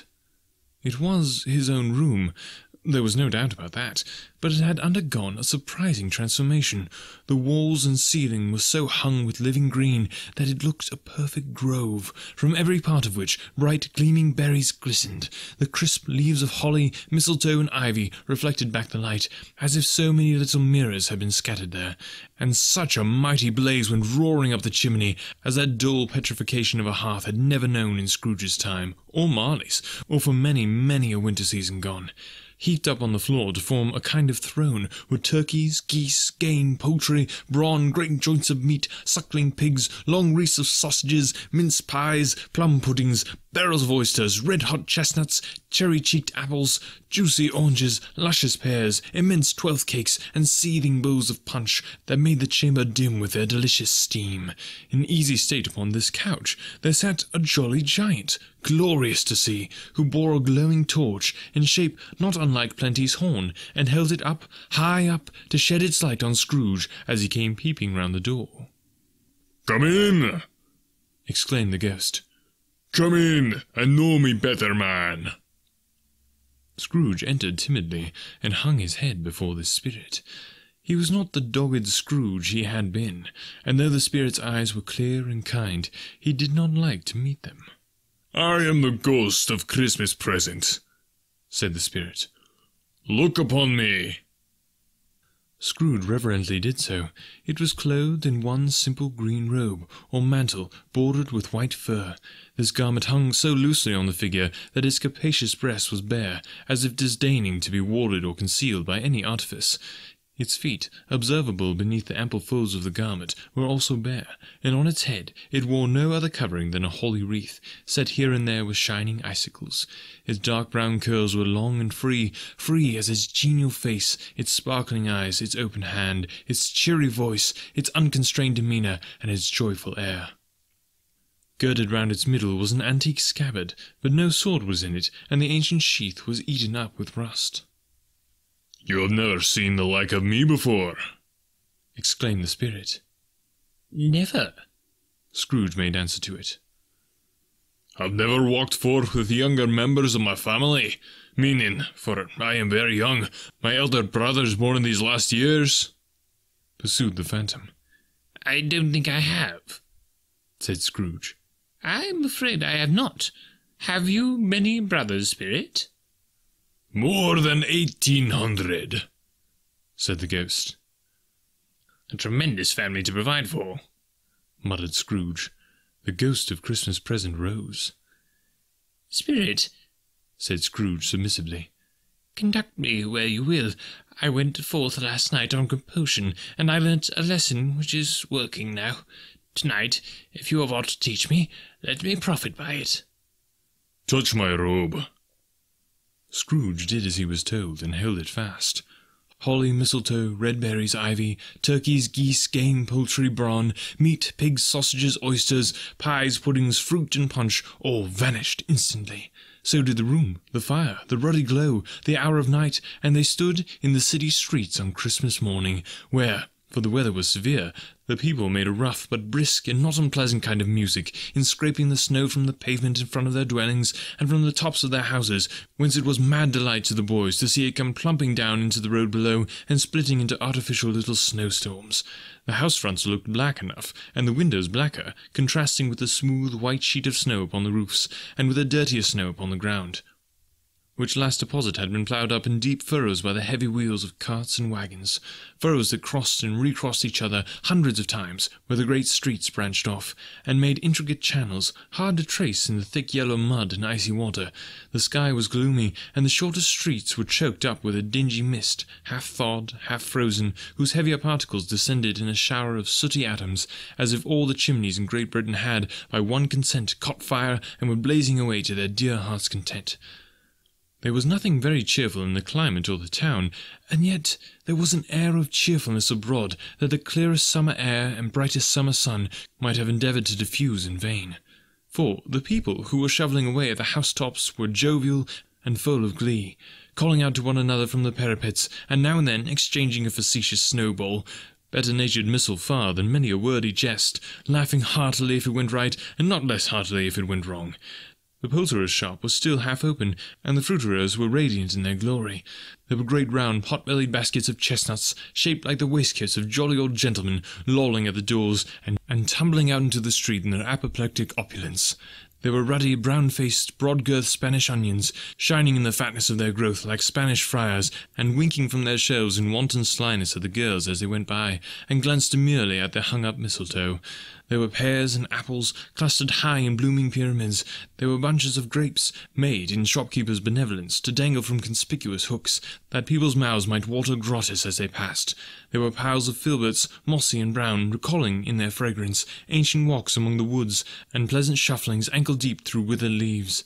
They were Norfolk biffins, squat and swarthy, setting off the yellow of the oranges and lemons, and, in the great compactness of their juicy persons, urgently entreating and beseeching to be carried home in paper bags and eaten after dinner. The very gold and silver fish set forth among these choice fruits in a bowl, though members of a dull and stagnant-blooded race, appeared to know that there was something going on, and to a fish went gasping round and round their little world in slow and passionless excitement. The grocers, oh, the grocers, nearly closed, with perhaps two shutters down or one, through those gaps. Such glimpses. It was not alone that the scales descending on the counter made a merry sound, or that the twine and rollers parted company so briskly, or that the canisters were rattled up and down like juggling tricks, or even that the blended scents of tea and coffee were so grateful to the nose, or even that the raisins were so plentiful and rare, the almonds so extremely white, the sticks of cinnamon so long and straight, the other spices so delicious, the candied fruits so caked and spotted with molten sugar as to make the coldest lookers on feel faint and subsequently bilious. Nor was it that the figs were moist and pulpy, or that the French plums blushed in modest tartness from their highly decorated boxes, or that everything was good to eat and in its Christmas dress. But the customers were all so hurried and so eager in the hopeful promise of the day that they tumbled up against each other at the door, crashing their wicker baskets wildly, and left their purchases upon the counter, and came running back to fetch them, and committed hundreds of like mistakes in the best humour possible while the grocer and his people were so frank and fresh that the polished hearts with which they fastened their aprons behind might have been their own, worn outside for general inspection, and for Christmas daws to peck at if they chose. But soon the steeples called good people all to church and chapel, and away they came, flocking through the streets in their best clothes and with their gayest faces. And at the same time there emerged from scores of by streets, lanes, and nameless turnings innumerable people, carrying their dinners to the bakers' shops. The sight of these poor revellers appeared to interest the spirit very much, for he stood with Scrooge beside him in a baker's doorway, and taking off the covers as their bearers passed, sprinkled incense on their dinners from his torch and it was a very uncommon kind of torch, for once or twice, when there were angry words between some dinner carriers who had jostled each other, he shed a few drops of water on them from it, and their good humour was restored directly. For, they said, it was a shame to quarrel upon Christmas Day, and so it was. God love it, so it was. In time the bells ceased, and the bakers were shut up, and yet there was a genial shadowing forth of all these dinners and the progress of their cooking in the thawed blotch of wet above each baker's oven, where the pavement smoked as if its stones were cooking too. Is there a particular flavour in which you sprinkle from your torch? asked Scrooge. There is. My own. Would it apply to any kind of dinner on this day? asked Scrooge. To any kindly given. To a poor one most. Why to a poor one most? asked Scrooge. Because it needs it most. Spirit, said Scrooge, after a moment's thought. I wonder you, of all the beings in the many worlds about us, should desire to cramp these people's opportunities for innocent enjoyment. Aye, cried the spirit. You would deprive them of their means of dining every seventh day, often the only day on which they can be said to dine at all, said Scrooge. Wouldn't you? Aye, cried the spirit. You seek to close these places on the seventh day, said Scrooge. And it comes to the same thing. I seek? exclaimed the spirit. Forgive me if I am wrong. It has been done in your name, or at least in that of your family said Scrooge. There are some upon this earth of yours, returned the spirit, who lay claim to know us, and who do their deeds of passion, pride, ill will, hatred, envy, bigotry, and selfishness in our name, who are as strange to us and all our kith and kin as if they had never lived. Remember that, and charge their doings on themselves, not us. Scrooge promised that he would, and they went on, invisible as they had been before, into the suburbs of the town. It was a remarkable quality of the ghost, which Scrooge had observed at the baker's, that notwithstanding his gigantic size, he could accommodate himself to any place with ease, and that he stood beneath a low roof quite as gracefully and like a supernatural creature as it was possible he could have done in any lofty hall. And perhaps it was the pleasure the good spirit had in showing off this power of his, or else it was his own kind, generous, hearty nature, and his sympathy with all poor men, that led him straight to Scrooge's clerks. For there he went, and took Scrooge with him, holding to his robe, and on the threshold of the door the spirit smiled, and stopped to bless Bob Cratchit's dwelling with the sprinkling of his torch. Think of that! Bob had but fifteen bob a week himself. He pocketed on Saturdays but fifteen copies of his Christian name, and yet the ghost of Christmas present blessed his four-roomed house. Then up rose Mrs. Cratchit, Cratchit's wife, dressed out but poorly in a twice-turned gown, but brave in ribbons, which are cheap and make a goodly show for sixpence, and she laid the cloth, assisted by Belinda Cratchit, second of her daughters, also brave in ribbons, while Master Peter Cratchit plunged a fork into the saucepan of potatoes, and, getting the corners of his monstrous shirt-collar, Bob's private property, conferred upon his son and heir in honour of the day. Into his mouth, rejoiced to find himself so gallantly attired, and yearned to show his linen in the fashionable parks. And now two smaller Cratchits, boy and girl, came tearing in, screaming that outside the baker's they had smelt the goose and known it for their own, and basking in luxurious thoughts of sage and onion, these young Cratchits danced about the table and exalted Master Peter Cratchit to the skies, while he, not proud, although his collars nearly choked him, blew the fire until the slow potatoes bubbling up knocked loudly at the saucepan lid to be let out and peeled. What has ever got your precious father, then? said Mrs. Cratchit. And your brother, Tiny Tim, and Martha weren't as late last Christmas Day by half an hour. Here's Martha, mother, said a girl, appearing as she spoke. Here's Martha, mother, cried the two young Cratchits. Hurrah! There's such a goose, Martha. Why, bless my heart alive, my dear, how late you are! Said Mrs. Cratchit, kissing her a dozen times and taking off her shawl and bonnet for her with officious zeal. We had a deal of work to finish up last night, replied the girl, and had to clear away this morning, mother. Well, never mind so long as you're come, said Mrs. Cratchit. Sit ye down before the fire, my dear, and have a warm, Lord bless ye. No, no, there's father coming, cried the two young Cratchits, who were everywhere at once. Hide, Martha, hide! So Martha hid herself, and in came little Bob, the father, with at least three feet of comforter, exclusive of the French, hanging down before him, and his threadbare clothes darned up and brushed to look seasonable, and Tiny Tim upon his shoulder. Alas, for Tiny Tim, he bore a little crutch, and had his limbs supported by an iron frame. What? Where's our Martha? cried Bob Cratchit, looking round. Not coming, said Mrs. Cratchit. Not coming, said Bob, with a sudden declension in his high spirits, for he had been Tim's blood horse all the way home from church, and had come home rampant. Not coming on Christmas Day? Martha didn't like to seem disappointed, if it were only in joke, so she came out prematurely from behind the closed door and ran into his arms, while the two young Cratchits hustled Tiny Tim and bore him off into the wash-house, that he might hear the pudding singing in the copper. And how did little Tim behave? Asked Mrs. Cratchit, when she had rallied Bob on his credulity, and Bob had hugged his daughter to his heart's content. As good as gold, said Bob. And better. Somehow he gets thoughtful sitting by himself so much, and thinks the strangest thing he ever heard. He told me, coming home, that he hoped people saw him in the church, because he was a cripple, and it might be pleasant to them to remember upon Christmas Day who made the lame beggars walk and blind men see. Bob's voice was tremulous when he told them this, and trembled more when he said that Tiny Tim was growing strong and hearty. His active little crutch was heard upon the floor, and back came Tiny Tim before another word was spoken, escorted by his brother and sister to his stool before the fire, and while Bob, turning up his cuffs, as if, poor fellow, they were capable of being made more shabby, compounded some hot mixture in a jug with gin and lemons, and stirred it round and round, and put it on the hob to simmer, Master Peter and the two ubiquitous young Cratchits went to fetch the goose, with which they soon returned in high procession. Such a bustle ensued that you might have thought a goose the rarest of all birds, a feathered phenomenon to which a black swan was a matter of course, and in truth it was something very like it in that house. Mrs. Cratchit made the gravy, ready beforehand in a little saucepan, hissing hot. Master Peter mashed the potatoes with incredible vigour. Miss Belinda sweetened up the apple sauce. Martha dusted the hot plates. Bob took Tiny Tim beside him in a tiny corner at the table. The two young Cratchits set chairs for everybody, not forgetting themselves, and mounting guard upon their posts, crammed spoons into their mouths, lest they should shriek for goose before their turn came to be helped.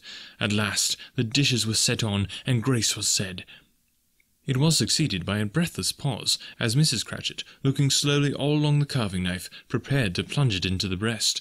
But when she did, and when the long-expected gush of stuffing issued forth, one murmur of delight arose all round the board, and even Tiny Tim, excited by the two young Cratchits, beat on the table with the handle of his knife, and feebly cried hurrah! There never was such a goose, Bob said he didn't believe there ever was such a goose cooked. Its tenderness and flavour, size and cheapness were the themes of universal admiration. Eked out by applesauce and mashed potatoes, it was a sufficient dinner for the whole family.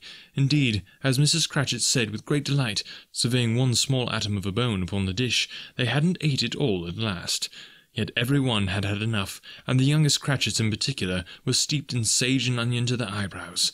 But now, the plates being changed by Miss Belinda, Mrs. Cratchit left the room alone, too nervous to bear witness, to take the pudding up and bring it in. Suppose it should not be done enough. Suppose it should break in turning out. Suppose somebody should have gotten over the wall of the backyard and stolen it while they were merry with the goose.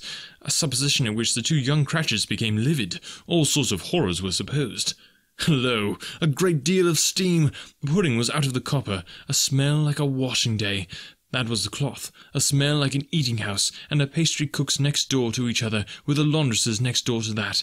That was the pudding. In half a minute Mrs. Cratchit entered, flushed but smiling proudly, with the pudding, like a speckled cannon ball, so hard and firm, blazing in half of half a quartern of ignited brandy, and bedighted with Christmas holly stuck into the top. Oh, what a wonderful pudding! Bob Cratchit said, and calmly too, that he regarded it as the greatest success achieved by Mrs. Cratchit since their marriage. Mrs. Cratchit said that now the weight was off her mind, she would confess she had had her doubts about the quantity of flour. Everybody had something to say about it, but nobody said or thought it was at all a small pudding for a large family. It would have been flat heresy to do so. Any Cratchit would have blushed to hint at such a thing. At last the dinner was all done, the cloth was cleared, the hearth swept, and the fire made up. The compound in the jug being tasted and considered perfect, apples and oranges were put upon the table, and a shovelful of chestnuts on the fire. Then all the Cratchit family drew round the hearth, in what Bob Cratchit called a circle, meaning half a one, and at Bob Cratchit's elbow stood the family's display of glass, two tumblers, and a custard cup without a handle. These held the hot stuff from the jug, however, as well as golden goblets would have done, and Bob served it out with beaming looks, while the chestnuts on the fire sputtered and cracked noisily. Then Bob proposed, A Merry Christmas to us all, my dears. God bless us. Which all the family re-echoed. God bless us, every one, said Tiny Tim, the last of all. He sat very close to his father's side upon his little stool, Bob held his withered hand in his, as if he loved the child, and wished to keep him by his side, and dreaded that he might be taken from him. Spirit, said Scrooge, with an interest he had never felt before. Tell me if Tiny Tim will live. I see a vacant seat, replied the ghost, in the poor chimney corner, and the crutch without an owner carefully preserved. If these shadows remain unaltered by the future, the child will die. No, no, said Scrooge. Oh, no, kind spirit, say he will be spared. If these shadows remain unaltered by the future, none other of my race, returned the ghost, will find him here. What then? If he be like to die, he had better do it and decrease the surplus population. Scrooge hung his head to hear his own words quoted by the spirit, and was overcome with penitence and grief.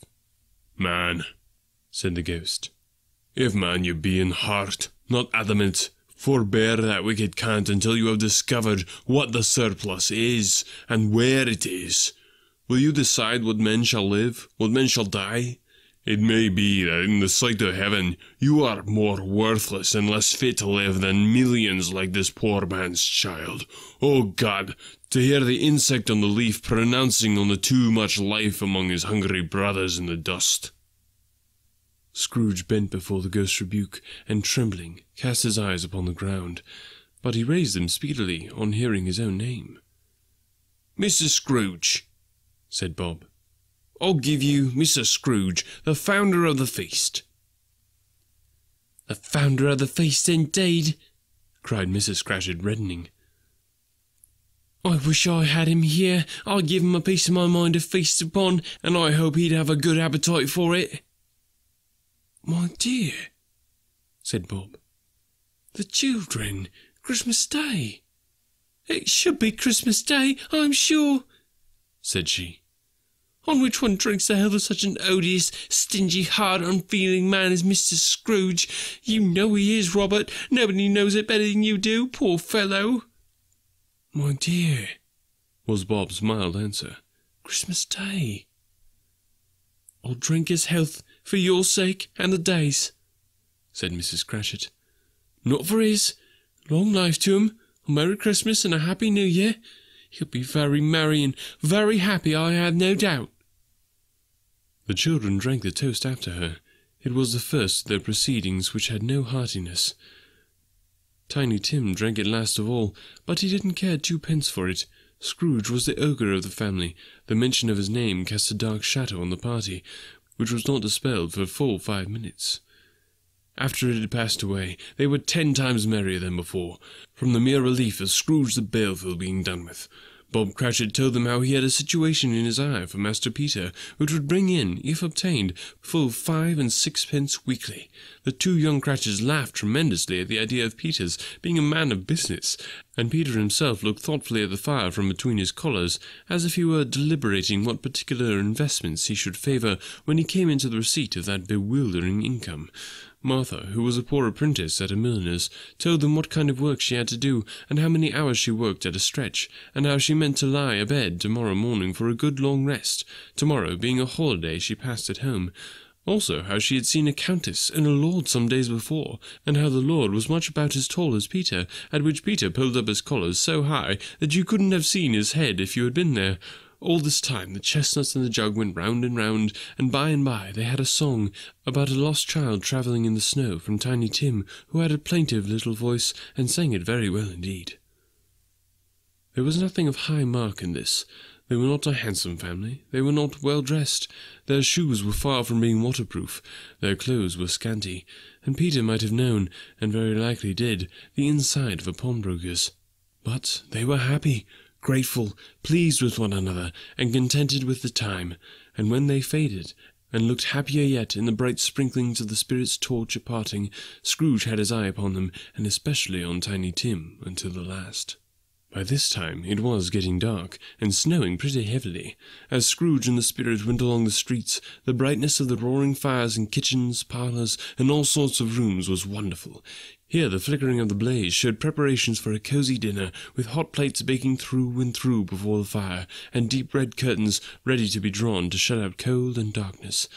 There all the children of the house were running out into the snow to meet their married sisters, brothers, cousins, uncles, aunts, and to be the first to greet them.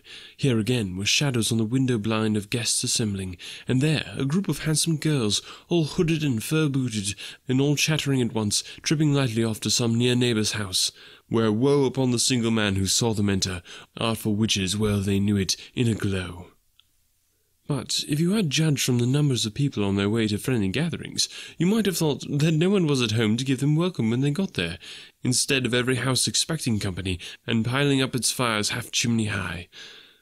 Blessings on it, how the ghost exulted, how it bared its breadth of breast, and opened its capacious palm, and floated on, outpouring with generous hand its bright and harmless mirth on everything within its reach. The very lamplighter, who ran on before, dotting the dusky streets with specks of light, and who was dressed to spend the evening somewhere, laughed out loudly as the spirit passed, though little kenned the lamplighter that he had any company but Christmas. And now, without a word of warning from the ghost, they stood upon a bleak and desert moor, where monstrous masses of rude stone were cast about, as though it were the burial place of giants, and water spread itself wheresoever it listed, and would have done so, but for the frost that held it prisoner, and nothing grew but moss and furze and coarse rank grass. Down in the west, the setting sun had left a streak of fiery red, which glared upon the desolation for an instant, like a sullen eye, and frowning lower, lower, lower yet, was lost in the thick gloom of darkest night. What place is this? asked Scrooge. A place where miners live, who labour in the bowels of the earth, returned the spirit. But they know me. See. A light shone from the window of a hut, and swiftly they advanced towards it. Passing through the wall of mud and stone, they found a cheerful company assembled round a glowing fire. An old, old man and woman, with their children and their children's children, and another generation beyond that, all decked out gaily in their holiday attire. The old man, in a voice that seldom rose above the howling of the wind upon the barren waste, was singing them a Christmas song. It had been a very old song when he was a boy, and from time to time they all joined in the chorus. So surely as they raised their voices, the old man got quite blithe and loud, and so surely as they stopped, his vigour sank again. The spirit did not tarry here, but bade Scrooge hold his robe, and passing on above the moor, sped whither? Not to sea, to sea, To Scrooge's horror, looking back, he saw the last of the land, a frightful range of rocks behind them. His ears were deafened by the thundering of water, as it rolled and roared and raged among the dreadful caverns it had worn, and fiercely tried to undermine the earth. Built upon a dismal reef of sunken rocks, some league or so from shore, on which the waters chafed and dashed the wild year through, there stood a solitary lighthouse. Great heaps of seaweed clung to its base, and storm birds, born of the wind one might suppose, as seaweed of the water, rose and fell about it like the waves they skimmed. But even here, two men who watched the light had made a fire that through the loophole in the thick stone wall shed out a ray of brightness on the awful sea. Joining their horny hands above the rough table at which they sat, they wished each other Merry Christmas in their can of grog, and one of them, the elder too, with his face all damaged and scarred with hard weather, as the figurehead of an old ship might be, struck up a sturdy song that was like a gale in itself. Again the ghost sped on, above the black and heaving sea, on and on, until, being far away, as he told Scrooge, from any shore, they lighted on a ship. They stood beside the helmsman at the wheel, the lookout in the bow, and the officers who had the watch. Dark, ghostly figures in their several stations, but every man among them hummed a Christmas tune, or had a Christmas thought, or spoke below his breath to his companion of some bygone Christmas day, with homeward hopes belonging to it.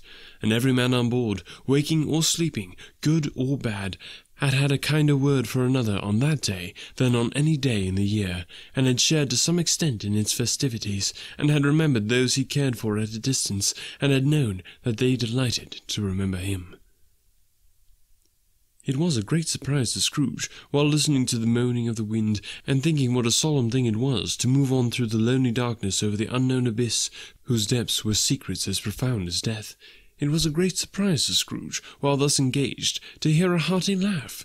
It was a much greater surprise to Scrooge to recognize it as his own nephew's, and to find himself in a bright, dry, gleaming room, with the spirit standing smiling by his side, and looking at that same nephew with approving affability. Ha ha ha! laughed Scrooge's nephew. Ha ha ha!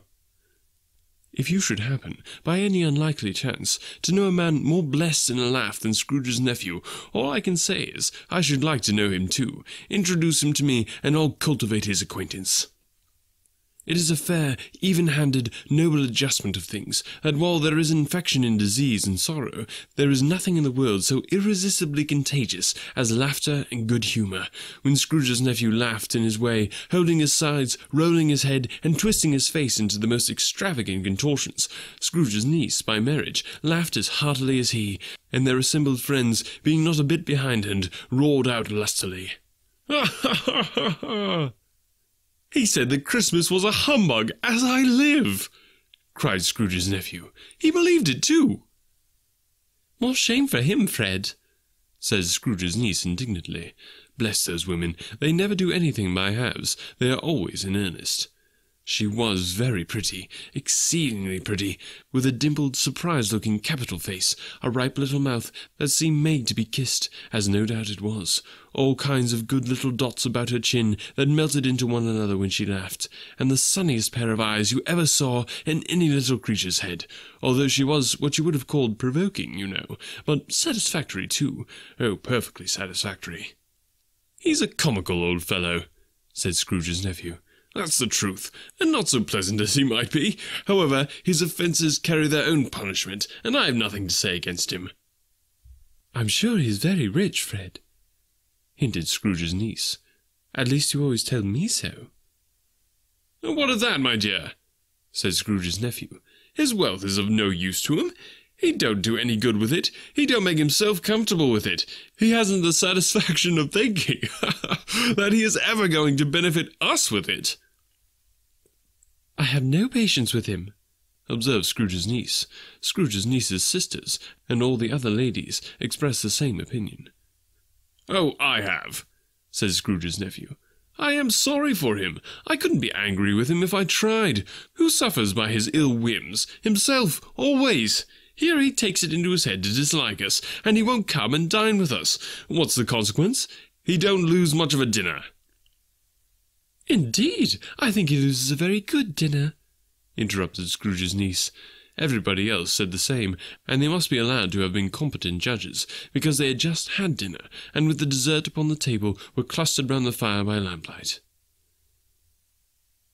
Well, I'm very glad to hear it, said Scrooge's nephew, because I haven't great faith in these young housekeepers. What do you say, Topper? Topper, who had clearly got his eye upon one of Scrooge's niece's sisters, for he answered that a bachelor was a wretched outcast who had no right to express an opinion on the subject. Whereas Scrooge's niece's sister, the plump one with the lace tucker, not the one with the roses, blushed. Do go on, Fred, said Scrooge's niece, clapping her hands. He never finishes what he begins to say. He is such a ridiculous fellow. Scrooge's nephew revelled in another laugh, and as it was impossible to keep the infection off, though the plump sister tried hard to do it with aromatic vinegar, his example was unanimously followed. I was going to say, said Scrooge's nephew, that the consequence of his taking a dislike to us, and not making merry with us, is, as I think, that he loses some pleasant moments which could do him no harm, I am sure he loses pleasanter companions than he can find in his own thoughts, either in his mouldy old office or his dusty chambers. I mean to give him the same chance every year, whether he likes it or not, for I pity him. He may rail at Christmas till he dies, but he can't help thinking better of it. I defy him, if he finds me going there in good temper year after year, saying, Uncle Scrooge, how are you? If it only puts him in the vein to leave his poor clerk fifty pounds, that's something, and I think I shook him yesterday. It was their turn to laugh now at the notion of shaking Scrooge, but being thoroughly good-natured, and not much caring what they laughed at, so that they laughed at any rate, he encouraged them in their merriment, and passed the bottle joyously.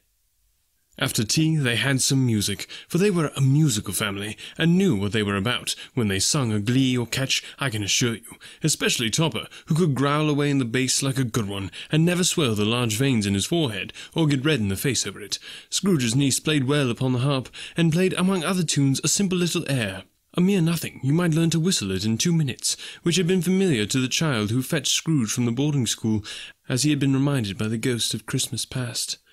When this strain of music sounded, all the things that ghost had shown him came upon his mind.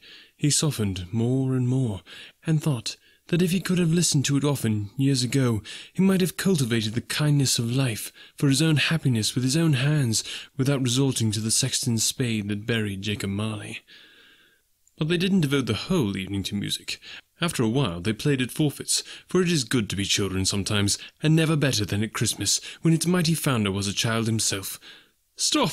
There was first a game at Blindman's Bluff. Of course there was and I no more believe Topper was really blind than I believe he had eyes in his boots. My opinion is that it was a done thing between him and Scrooge's nephew, and that the ghost of Christmas present knew it.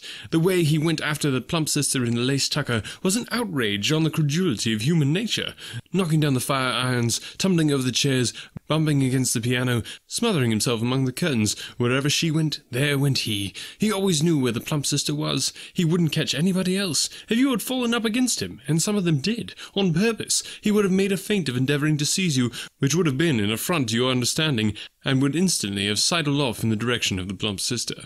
She often cried out that it wasn't fair, and it really was not. But when at last he caught her, when in spite of all her silken rustlings and her rapid flutterings past him, he got her into a corner whence there was no escape, then his conduct was the most execrable, for his pretending not to know her, his pretending that it was necessary to touch her headdress, and further to assure himself of her identity by pressing a certain ring upon her finger and a certain chain about her neck, was vile, monstrous. No doubt she told him her opinion of it, when, another blind man being in office, they were so very confidential together behind the curtains. Scrooge's niece was not one of the blind man's buff party, but was made comfortable with a large chair and a footstool in a snug corner where the ghost and Scrooge were close behind her. But she joined in the forfeits, and loved her love to admiration with all the letters of the alphabet. Likewise, at the game of how, when, and where, she was very great, and to the secret joy of Scrooge's nephew, beat her sisters hollow. Though they were sharp girls, too, as Topper could have told you. There might have been twenty people there, young and old, but they all played, and so did Scrooge, for wholly forgetting in the interest he had in what was going on that his voice made no sound in their ears, he sometimes came out with his guess quite loud, and very often guessed quite right too, for the sharpest needle, best Whitechapel, wanted not to cut in the eye, was not sharper than Scrooge, blunt as he took it in his head to be. The ghost was greatly pleased to find him in this mood, and looked upon him with such favour that he begged like a boy to be allowed to stay until the guests departed. But this, the spirit said, could not be done. Here is a new game, said Scrooge. One half hour spirit, only one.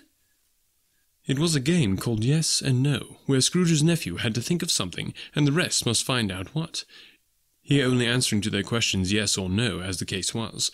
The brisk fire of questioning to which he was exposed elicited from him that he was thinking of an animal, a live animal, rather a disagreeable animal, a savage animal, an animal that growled and grunted sometimes, and talked sometimes, and lived in London, and walked about the streets, and wasn't made a show of, and wasn't led by anybody, and didn't live in a menagerie, and was never killed in a market, and was not a horse, or an ass, or a cow, or a bull, or a tiger, or a dog, or a pig, or a cat, or a bear.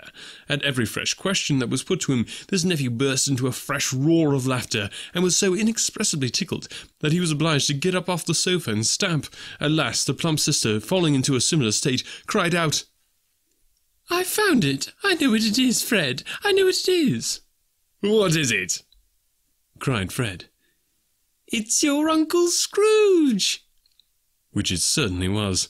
Admiration was a universal sentiment, though some objected that the reply to Is it a bear ought to have been yes, inasmuch as an answer in the negative was sufficient to have diverted their thoughts from Mr. Scrooge, supposing they had ever had any tendency that way.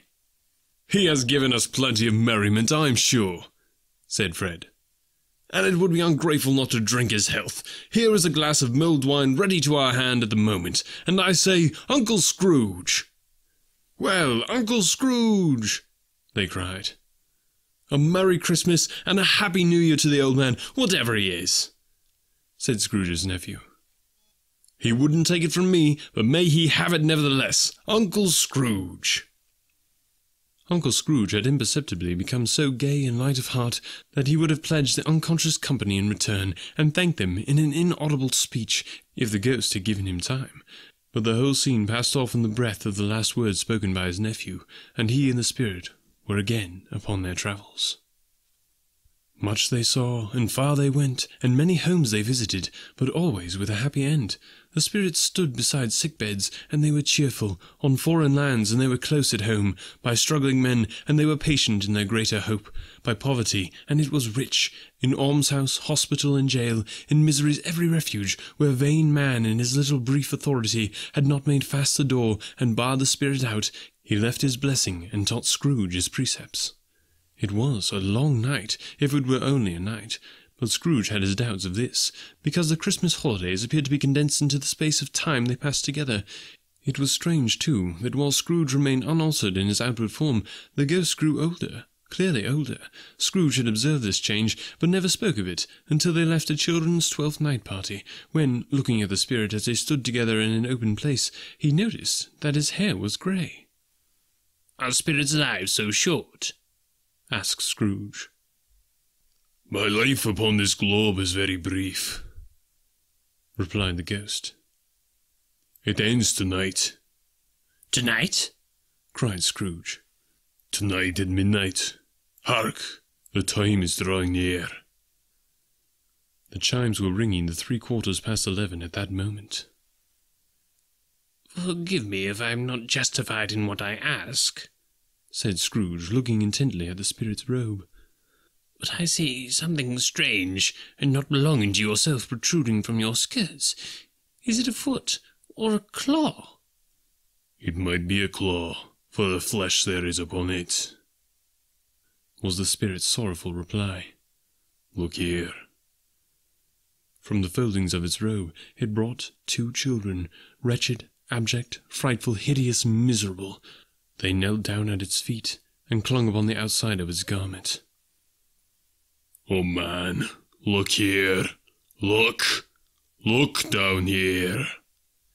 exclaimed the ghost. There was a boy and a girl, yellowish, meagre, ragged, scowling, wolfish, but prostrate too in their humility. Where graceful youth should have filled their features out and touched them with its freshest tints, a stale and shriveled hand, like that of age, had pinched and twisted them and pulled them into shreds. Where angels might have sat enthroned, devils lurked and glared out menacing. No change, no degradation, No perversion of humanity, in any grade, through all the mysteries of wonderful creation, has monsters half so horrible and dread. Scrooge started back appalled, having them shown to him in this way. He tried to say they were fine children, but the words choked themselves rather than be parties to a lie of such enormous magnitude. Spirit, are they yours? Scrooge could say no more. They are man's, said the spirit, looking down upon them. And they cling to me, appealing from their fathers. His boy, his ignorance, his girl, his want. Beware them both, and all of their degree, but most of all, beware this boy, for on his brow I see written which is doom, unless the writing be erased. Deny it, cried the spirit, stretching out its hand towards the city. Slander those who tell it ye, admit it for your facetious purposes, and make it worse, and bide the end. Have they no refuge or resource? cried Scrooge.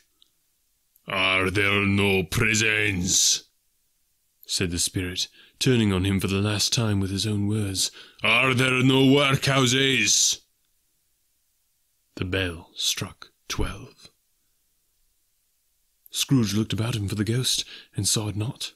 As the last stroke ceased to vibrate, he remembered the prediction of old Jacob Marley, and lifting up his eyes, beheld a solemn phantom, draped and hooded, coming like a mist along the ground towards him. Stave 4 The Last of the Spirits. The phantom slowly, gravely, silently approached. When it came near him, Scrooge bent down upon his knee, for in the very air through which this spirit moved, it seemed to scatter gloom and mystery. It was shrouded in a deep black garment which concealed its head, its face, its form, and left nothing of it visible save one outstretched hand. But for this, it would have been difficult to detach its figure from the night, and separate it from the darkness by which it was surrounded. He felt that it was tall and stately when it came beside him, and that its mysterious presence filled him with a solemn dread. He knew no more, for the spirit neither spoke nor moved. I am in the presence of the ghost of Christmas yet to come, said Scrooge. The spirit answered not, but pointed onward with his hand. You are about to show me shadows of things that have not happened, but will happen in the time before us. Scrooge pursued. Is that so, Spirit? The upper portion of the garment was contracted for an instant in its folds, as if the spirit had inclined its head. That was the only answer he received. Although well used to ghostly company by this time, Scrooge feared the silent shape so much that his legs trembled beneath him, and he found that he could hardly stand when he prepared to follow it. The spirit paused a moment, as observing his condition and giving him time to recover. But Scrooge was all the worse for this. It thrilled him with a vague, uncertain horror to know that behind the dusky shroud there were ghostly eyes intently fixed upon him, while he, though he stretched his own to the utmost, could see nothing but a spectral hand and one great heap of black. Ghost of the future, he exclaimed. I fear you more than any spectre I have seen, but as I know your purpose is to do me good, and as I hope to live to be another man from what I was, I am prepared to bear your company, and do it with a thankful heart. Will you not speak to me? It gave him no reply. The hand was pointed straight before them. Lead on, said Scrooge. Lead on. The night is waning fast, and it is precious time to me, I know. Lead on, spirit. The phantom moved away as it had come towards him. Scrooge followed in the shadow of its dress, which bore him up, he thought, and carried him along. They scarcely seemed to enter the city, for the city rather seemed to spring up about them and encompass them of its own act. But there they were, in the heart of it, on change amongst the merchants, who hurried up and down and chinked the money in their pockets, and conversed in groups, and looked at their watches, and trifled thoughtfully with their great gold seals, and so forth, as Scrooge had seen them often. The spirits stopped beside one little knot of businessmen. Observing that the hand was pointed to them, Scrooge advanced to listen to their talk. No, said a great fat man with a monstrous chin. I don't know much about it either way. I only know he's dead. When did he die? inquired another. Last night, I believe. Why, what was the matter with him? asked a third, taking a vast quantity of snuff out of a very large snuff box. I thought he'd never die, God knows. said the first with a yawn. What has he done with his money? asked a red-faced gentleman with a pendulous excretions on the end of his nose that shook like the gills of a turkey cock. I haven't heard. said the man with the large chin, yawning again. Left it to his company, perhaps. He hasn't left it to me, that's all I know. This pleasantry was received with a general laugh. It's very likely to be a very cheap funeral. said the same speaker. For upon my life, I don't know of anybody that'd go to it. Suppose we make up a party and volunteer. I don't mind going if lunch is provided, observed the gentleman with the excretions on his nose. but I must be fed if I make one. Another laugh, Well, I'm the most disinterested among you after all. said the first speaker. For I never wear black gloves, and I never eat lunch. But I'll offer to go, if anybody else will. When I come to think of it, I'm not at all sure that I wasn't his most particular friend, but we used to stop and speak whenever we met. Bye-bye. Speakers and listeners strolled away and mixed with other groups. Scrooge knew the men and looked towards the spirit for an explanation. The phantom glided on into a street. Its finger pointed to two persons meeting. Scrooge listened again, thinking that the explanation might lie here. He knew these men also, perfectly. They were men of business, very wealthy and of great importance.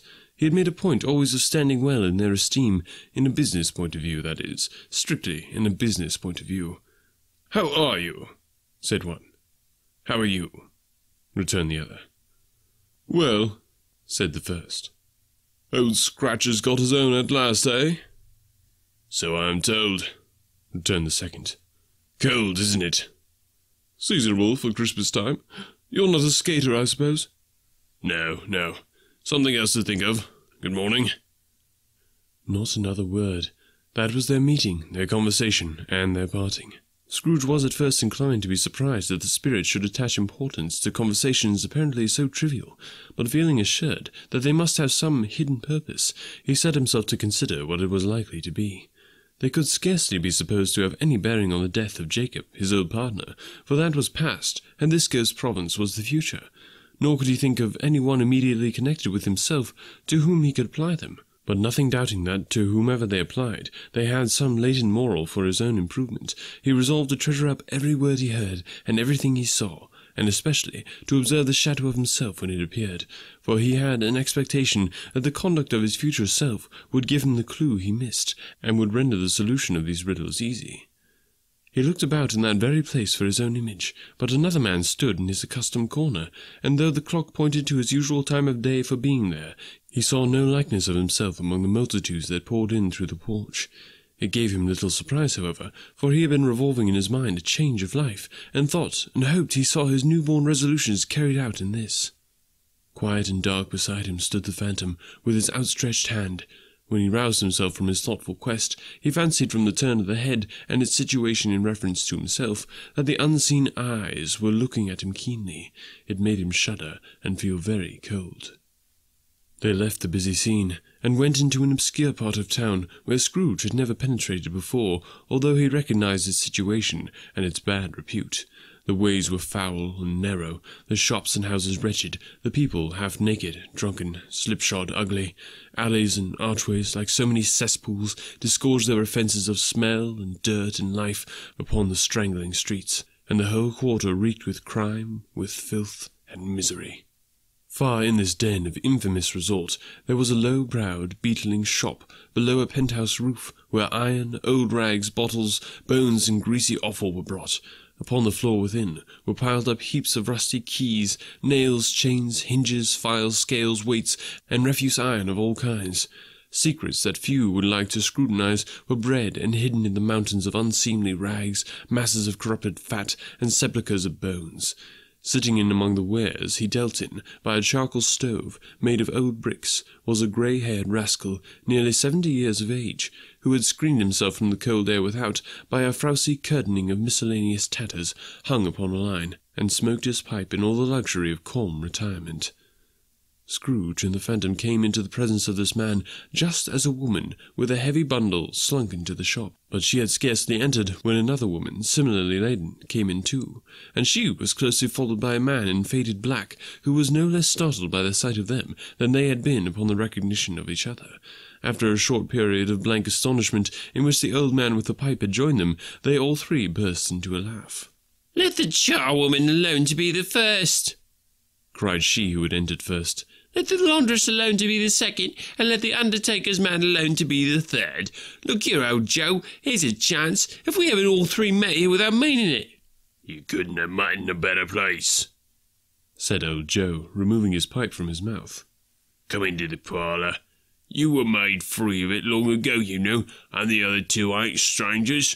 Stop till I shut the door of the shop. Oh, how it shrieks! There ain't such a rusty bit of metal in the place as its own hinges, I believe, and I'm sure there's no such old bones here as mine. Uh, we're all suitable to our calling, oh, well matched. Come into the parlour, come into the parlour. The parlour was the space behind the screen of rags. The old man raked the fire together with an old stair rod, and having trimmed his smoky lamp, for it was night, with the stem of his pipe, put it in his mouth again. While he did this, the woman who had already spoken threw her bundle on the floor, and sat down in a flaunting manner on a stool, crossing her elbows on her knees, and looking with a bold defiance at the other two. What odds, Mrs. Dilber? said the woman. Every person has a right to take care of themselves. He always did. That's true indeed, said the laundress. No man more. Why then, don't stand staring as if you were afraid, woman. Who's the wiser? We're not going to pick holes in each other's coats, I suppose. No, indeed, said Mrs. Dilber and the man together. We should hope not. Very well, then, cried the woman. That's enough. Who's the worse for the loss of a few things like these? Not a dead man, I suppose. No, indeed, said Mrs. Dilber, laughing. If he wanted to keep him after he was dead, a wicked old screw, pursued the woman. Why wasn't he natural in his lifetime? If he had been, he'd have had somebody to look after him when he was struck with death, instead of lying gasping out his last there, alone by himself. It's the truest words I ever spoke, said Mrs. Dilber. It's a judgment on him. I wish it had been a little heavier judgment, replied the woman. And it should have been, you may depend on it. If I could have laid my hands on anything else, Open that bundle, old Joe, and let me know the value of it. Speak out plain. I'm not afraid to be the first, nor afraid for them to see it. We know pretty well that we were helping ourselves before we met here, I believe. It's no sin. Open the bundle, Joe. Well, the gallantry of her friends would not allow of this, and the man in faded black, mounting the breach first, produced his plunder. It was not extensive. A seal or two, a pencil case, a pair of sleeve buttons, and a brooch of no great value were all. They were severally examined and appraised by old Joe, who chalked the sums he was disposed to give for each upon the wall, and added them into a total when he found there was nothing more to come. That's your account, said Joe. I wouldn't give another sixpence if I was to be bored for not doing it. Who's next? Mrs. Dilber was next. Sheets and towels, a little wearing apparel, two old-fashioned silver teaspoons, a pair of sugar tongs, and a few boots. Her account was stated on the wall in the same manner. I always give too much to ladies. It's a weakness of mine, and that's the way I ruin myself, said old Joe. That's your account. If you asked me for another penny and made it an open question, I'd repent of being so liberal and knock off half a crown. And now do you my bundle, Joe? said the first woman. Joe went down on his knees for the greater convenience of opening it, and having unfastened a great many knots, dragged out a large and heavy roll of some dark stuff. What do you call this? said Joe. Bed curtains. Ah! returned the woman, laughing and leaning forward on her crossed arms. Bed curtains.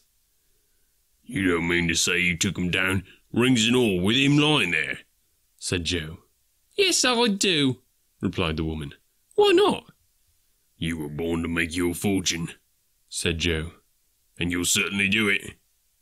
I certainly shan't hold my hand when I can get anything in it by reaching out for the sake of such a man as he was. I promise you, Joe, returned the woman coolly.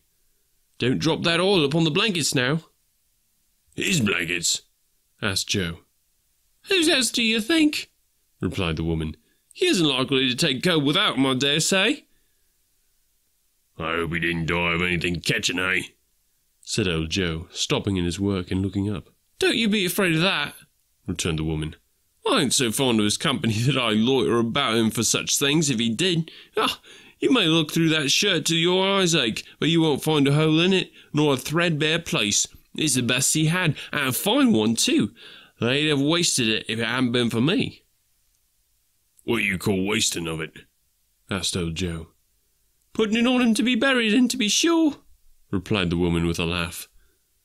Somebody was fool enough to do it, but I took it off again. If calico ain't good enough for such a purpose, it isn't good enough for anything. It's quite as becoming to the boy. He can't look uglier than he did in that one.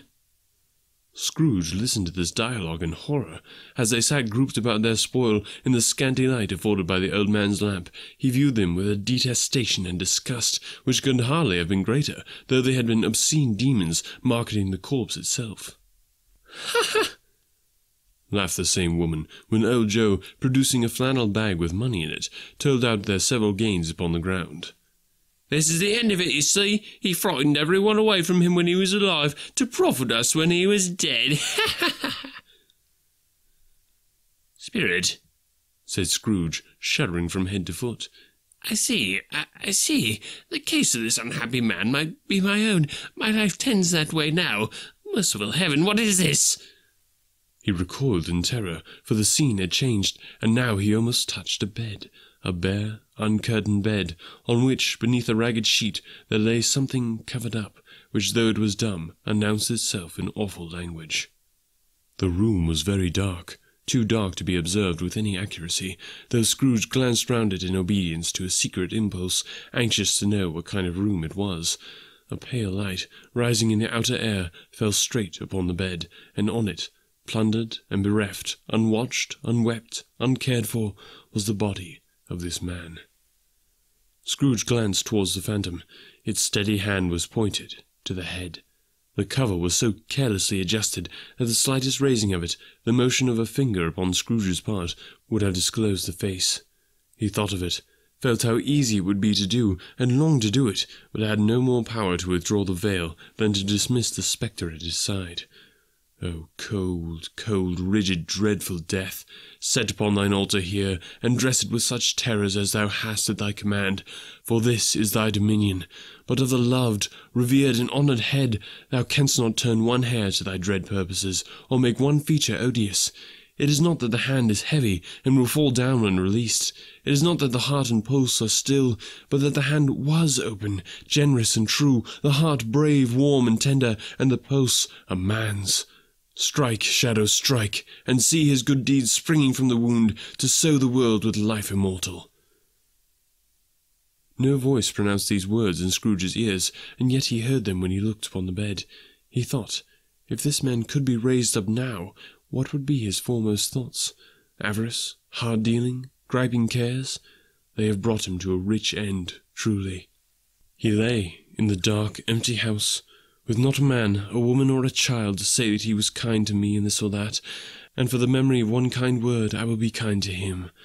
A cat was tearing at the door, and there was a sound of gnawing rats beneath the hearthstone. What they wanted in the room of death, and why they were so restless and disturbed, Scrooge did not dare to think. Spirit, he said, this is a fearful place. In leaving it, I shall not leave its lesson, trust me. Let us go. Still, the spirit pointed with an unmoved finger to the head. I understand you, Scrooge returned. And I would do it if I could, but I have not the power, Spirit. I have not the power. Again it seemed to look upon him. If there is any person in the town who feels emotion caused by this man's death, said Scrooge, quite agonized, show that person to me, Spirit. I beseech you. The phantom spread its dark robe before him for a moment, like a wing, and withdrawing it, revealed a room by daylight, where a mother and her children were. She was expecting someone, and with anxious eagerness, for she walked up and down the room, started at every sound, looked out from the window, glanced at the clock, tried in vain to work with the needle, and could hardly bear the voices of the children in their play.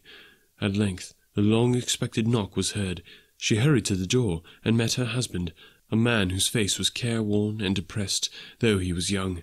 There was a remarkable expression in it now, a kind of serious delight, of which he felt ashamed, and which he struggled to repress. He sat down to the dinner that had been holding for him by the fire, and when she asked him faintly what news, which was not until after a long silence, he appeared embarrassed how to answer. Is it good? she said, or bad? To help him. Bad, he answered. We are quite ruined. No, there is hope yet, Caroline. If he relents, she said, amazed. There is. Nothing is past hope if such a miracle has happened. He is past relenting, said her husband. He is dead. She was a mild and patient creature if her face spoke truth, but she was thankful in her soul to hear it, and she said so with clasped hands. She prayed forgiveness the next moment and was sorry, but the first was the emotion of her heart. What the half drunken woman whom I told you of last night said to me when I tried to see him and obtain a week's delay, and what I thought was a mere excuse to avoid me, turns out to have been quite true. He was not only very ill, but dying then. To whom will our debt be transferred? I don't know, but before that time we shall be ready with the money, and even though we were not, it would be a bad fortune indeed to find so merciless a creditor in this successor. We may sleep tonight with light hearts, Caroline. Yes, soften it as they would, their hearts were lighter. The children's faces, hushed and clustered round to hear what they so little understood, were brighter, and it was a happier house for this man's death. The only emotion that the ghost could show him, caused by the event, was one of pleasure. Let me see some tenderness connected with the death, said Scrooge. Or that dark chamber spirit which we left just now will be ever present to me. The ghost conducted him through several streets familiar to his feet, and as they went along, Scrooge looked here and there to find himself, but nowhere was he to be seen. They entered poor Bob Cratchit's house, the dwelling he had visited before, and found the mother and the children seated round the fire. Quiet, very quiet. The noisy little Cratchits were as still as statues in one corner, and sat looking up at Peter, who had a book before him. The mother and her daughters were engaged in sewing, but surely they were very quiet. And he took a child and set him in the midst of them. Where had Scrooge heard those words? He had not dreamed them. The boy must have read them out as he and the spirit crossed the threshold. Why did he not go on? The mother laid her work upon the table and put her hands up to her face. The colour hurts my eyes, she said. The colour. Oh, poor Tiny Tim. They're better now again, said Cratchit's wife. It makes them weak by candlelight. I wouldn't show weak eyes to your father when he comes home for the world. It must be near his time. Past it, rather, Peter answered, shutting up his book. But I think he's walked a little slower than he used to these last few evenings, mother. They were very quiet again. At last she said in a steady, cheerful voice that only faltered once. I have known him to walk with I have known him to walk with Tiny Tim upon his shoulder very fast indeed. And so have I, cried Peter. Often. And so have I, exclaimed another. So had all. But he was very light to carry, she resumed, intent upon her work. His father loved him so. That was no trouble. No trouble. Oh, and there is your father at the door. She hurried out to meet him, and little Bob, in his comforter, he had need of it, poor fellow, came in. His tea was ready for him on the hob, and they all tried who should help him to it the most. Then the two young Cratchits got upon his knees, and laid each child a little cheek against his face, as if they said, Don't mind it, father, don't be grieved. Bob was very cheerful with them, and spoke pleasantly to all the family. He looked at the work upon the table, and praised the industry and speed of Mrs. Cratchit and the girls. They would be done long before Sunday, he said. Sunday? You went today, then, Robert? said his wife. Yes, my dear, returned Bob. I wish you could have gone. It would have done you good to see how green a place it is. But you'll see, orphan. I promised him that I would walk there on a Sunday. My little, little child, cried Bob. My little child. He broke down all at once. He couldn't help it. If he could have helped it, he and his child would have been farther apart perhaps than they were. He left the room and went upstairs into the room above, which was lighted cheerfully and hung with Christmas. There was a chair set close beside the child, and there were signs of someone having been there lately. Poor Bob sat down in it, and when he had thought a little and composed himself, he kissed the little face. He was reconciled to what had happened, and went down again, quite happy. They drew about the fire and talked, the girls and mother working still. Bob told them of the extraordinary kindness of Mr. Scrooge's nephew, whom he had scarcely seen but once, and who, meeting him in the street that day, and seeing that he looked a little, just a little down, you know, said Bob, inquired what had happened to distress him. On which, said Bob, for he is the pleasantest spoken gentleman you ever heard, I told him, I am heartily sorry for it, Mr. Cratchit, he said, and heartily sorry for your good wife. By the by, how he ever knew that, I don't know. Knew what, dear? Why, that you were a good wife, replied Bob. Everybody knows that, said Peter. Very well observed, my boy, cried Bob. I hope they do. Heartily sorry, he said, for your good wife. If I can be of any service to you in any way, he said, giving me his card. That's where I live. Pray come to me. Now, it wasn't, cried Bob. For the sake of anything he might be able to do for us, so much as for his kind way, that this was quite delightful. It really seemed as if he had known our Tiny Tim and felt with us.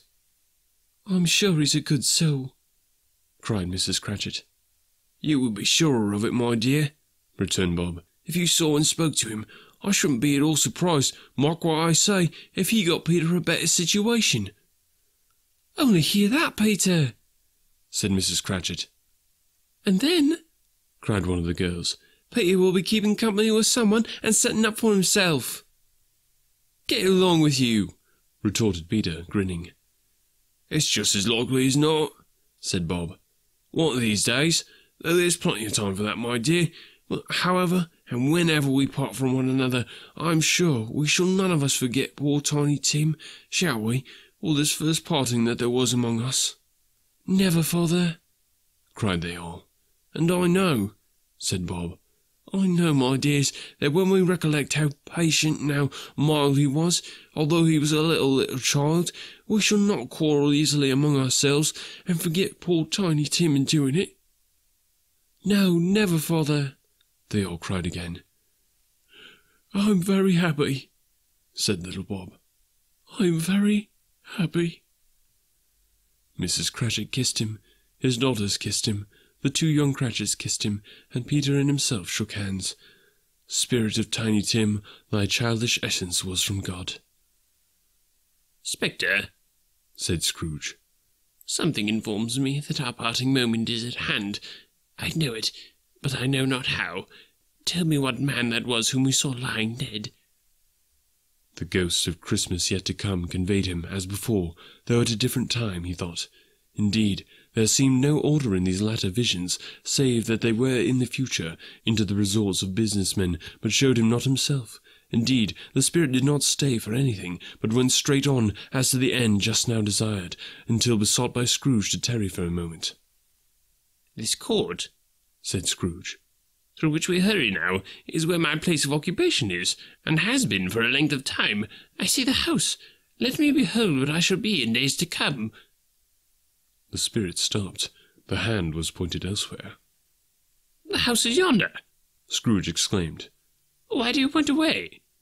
The inexorable finger underwent no change. Scrooge hastened to the window of his office and looked in. It was an office still, but not his. The furniture was not the same, and the figure in the chair was not himself. The phantom pointed as before. He joined it once again, and wondering why and whither he had gone, accompanied it until they reached an iron gate. He paused to look round before entering. A churchyard. Here, then, the wretched man whose name he had now to learn lay underneath the ground. It was a worthy place, walled in by houses, overrun by grass and weeds, the growth of vegetation's death, not life, choked up with too much burying, fat with repleted appetite. A worthy place. The spirit stood among the graves and pointed down to one. He advanced towards it, trembling. The phantom was exactly as it had been, but he dreaded that he saw new meaning in its solemn shape. Before I draw near to that stone to which you point, said Scrooge, answer me one question. Are these the shadows of things that will be, or are they shadows of things that may be only? Still, the ghost pointed downward to the grave by which it stood. Men's courses will foreshadow certain ends, to which, if persevered in, they must lead, said Scrooge. But if the courses be departed from, the ends will change. Say it is thus with what you show me. The spirit was immovable as ever. Scrooge crept towards it, trembling as he went, and following the finger, read upon the stone of the neglected grave his own name Ebenezer Scrooge. Am I that man who lay upon the bed? he cried, upon his knees. The finger pointed from the grave to him and back again. No, spirit! Oh, no, no! The finger still was there. Spirit! he cried, tight clutching at his robe. Hear me! I am not the man I was. I will not be the man I must have been but for this intercourse. Why show me this if I have past all hope? For the first time the hand appeared to shake. Good spirit, he pursued, as down upon the ground he fell before it. Your nature intercedes for me and pities me. Assure me that I yet may change these shadows you have shown me by an altered life. The kind hand trembled. I will roll a Christmas in my heart and try to keep it all the year. I will live in the past, the present, and the future. The spirits of all three shall strive within me. I will not shut out the lessons that they teach. Oh, tell me that I may sponge away the writing on this stone. In his agony, he caught the spectral hand. It sought to free itself, but he was strong in his entreaty, and detained it. The spirit, stronger yet, repulsed him. Holding up his hands in a last prayer to have his fate reversed, he saw an alteration in the phantom's hood and dress. It shrunk, collapsed, and dwindled down into a bedpost. Stave 5. The end of it. Yes, and the bedpost was his own. The bed was his own. The room was his own. Best and happiest of all, the time before him was his own, to make amends in. I will live in the past, the present, and the future, Scrooge repeated as he scrambled out of bed. The spirits of all three shall strive within me. Oh, Jacob Marley, heaven and the Christmas time be praised for this. I say it on my knees, oh Jacob, on my knees. He was so fluttered and so glowing with his good intentions that his broken voice would scarcely answer to his call. He had been sobbing violently in his conflict with the spirit, and his face was wet with tears. They are not torn down, cried Scrooge, folding one of his bed curtains in his arms. They are not torn down, rings and all. They are here. I am here. The shadows of the things that would have been may be dispelled. They will be. I know they will. His hands were busy with his garments all this time, turning them inside out, putting them on upside down, tearing them, mislaying them, making them parties to every kind of extravagance. I don't know what to do, cried Scrooge, laughing and crying in the same breath, and making a perfect Laocoön of himself with his stockings. I'm light as a feather. I'm happy as an angel. I'm as merry as a schoolboy. I'm as giddy as a drunken man. A Merry Christmas to everybody. A Happy New Year to all the world. Halloo here! He had frisked into the sitting room and was now standing there, perfectly winded. There's the saucepan that the gruel was in, cried Scrooge, starting off again and going round the fireplace. There's the door by which the ghost of Jacob Marley entered. There's the corner where the ghost of Christmas present sat. There's the window where I saw the wandering spirits. It's all right. It's all true. It all happened. Ha ha ha!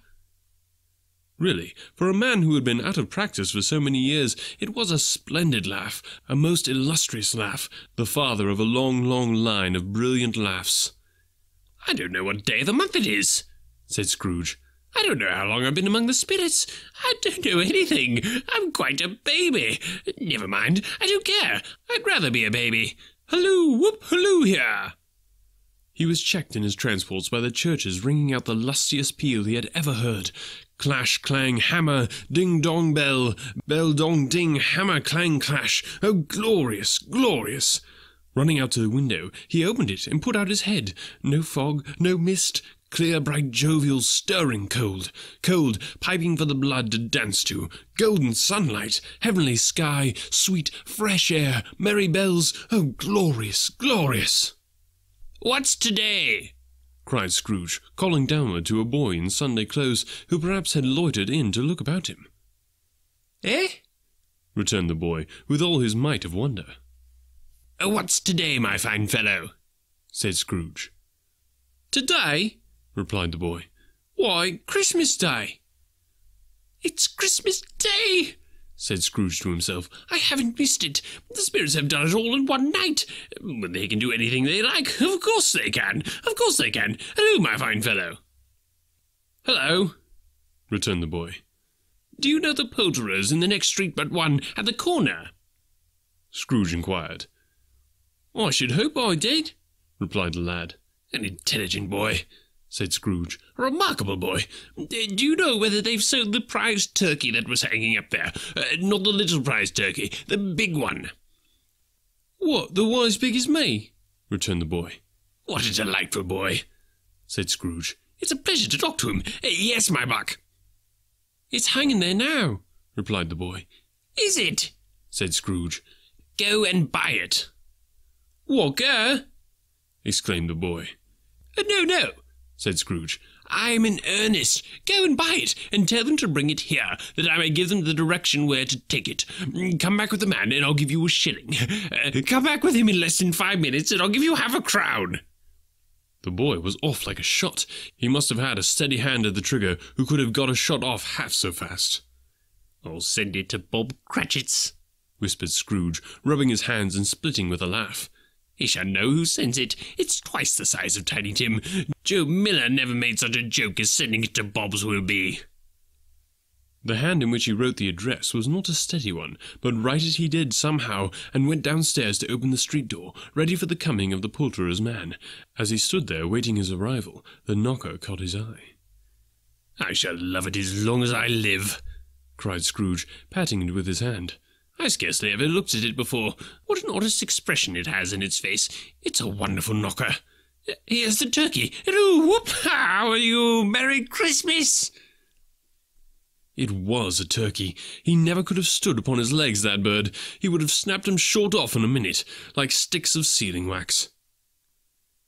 Why, it's impossible to carry that to Camden Town, said Scrooge. You must have a cab. The chuckle with which he said this, and the chuckle with which he paid for the turkey, and the chuckle with which he paid for the cab, and the chuckle with which he recompensed the boy, were only to be exceeded by the chuckle with which he sat down breathless in his chair again, and chuckled till he cried. Shaving was not an easy task, for his hand continued to shake very much, and shaving requires attention, even when you don't dance while you're at it. But if he had cut off the end of his nose, he would have put a piece of sticking plaster over it and been quite satisfied. He dressed himself all in his best, and at last got out into the streets. The people were by this time pouring forth, as he had seen them with the ghosts of Christmas present, and walking with his hands behind him, Scrooge regarded every one with a delighted smile. He looked so irresistibly pleasant, in a word, that three or four good-humoured fellows said, Good morning, sir, and Merry Christmas to you. And Scrooge said often afterwards that of all the blithe sounds he had ever heard, those were the blithest in his ears. He had not gone far when, coming on towards him, he beheld the portly gentleman who had walked into his counting-house the day before, and said, "Uh, Scrooge and Marley's, I believe. It sent a pang across his heart to think how this old gentleman would look upon him when they met, but he knew what path lay straight before him, and he took it. Ahem. Uh, my dear sir, said Scrooge, quickening his pace, and taking the old gentleman by both his hands. I hope you succeeded yesterday. It was very kind of you. A Merry Christmas to you, sir. Mr. Scrooge? Yes, said Scrooge. that is my name, and I fear it may not be a pleasant one to you. Allow me to ask your pardon, and will you have the goodness? Here Scrooge whispered in his ear. Lord bless me! cried the gentleman, as if his breath were taken away. My dear Mr. Scrooge, are you serious? If you please. said Scrooge. Not a farthing less. A great many back payments are included in it, I assure you. Will you do me that favour? My dear sir, said the other, shaking hands with him. I don't know what to say to such munificent. Don't say anything, please, retorted Scrooge. Come and see me. Will you come and see me? I will, cried the old gentleman, and it was clear he meant to do it. Thank ye, said Scrooge. I'm much obliged to you. I thank you fifty times. Bless you. He went to church, and walked about the streets, and watched the people hurrying to and fro, and patted children on the head, and questioned beggars, and looked down into the kitchens of houses, and up to the windows, and found that everything could yield him pleasure. He had never dreamed that any walk, that anything, could give him so much happiness. In the afternoon he turned his steps toward his nephew's house. He passed the door a dozen times before he had the courage to go up and knock, but he made a dash and did it. Is your master at home, my dear? said Scrooge to the girl. Nice girl, very. Oh, yes, sir. Where is he, my love? said Scrooge.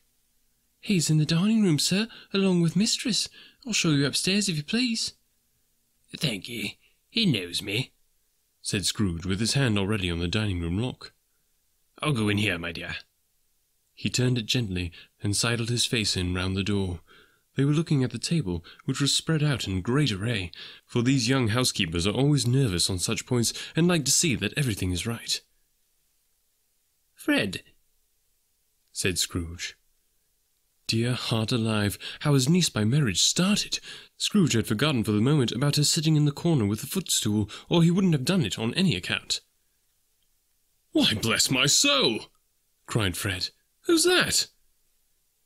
It's I, your Uncle Scrooge. I have come to dinner. Uh, will you let me in, Fred?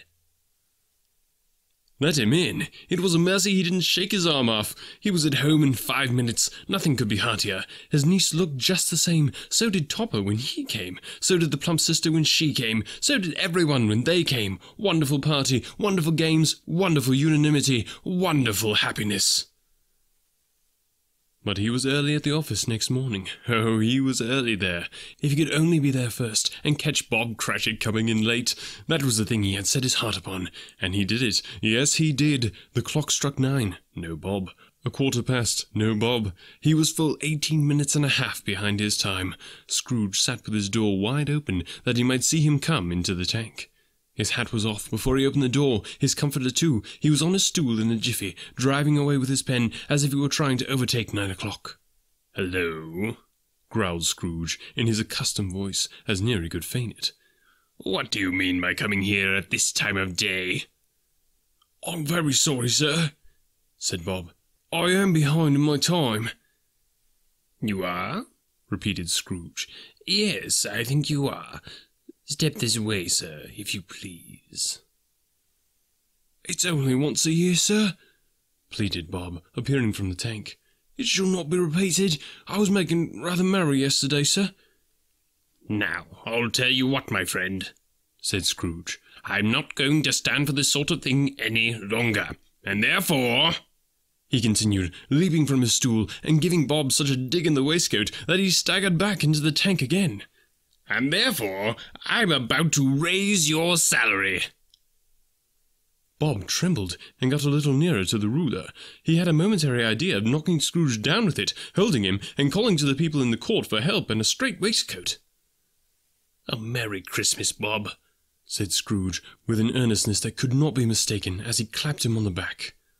A merrier Christmas, Bob, my good fellow, than I've given you for many a year or raise your salary and endeavour to assist your struggling family, and we will discuss your affairs this very afternoon over a Christmas bowl of smoking Bishop Bob.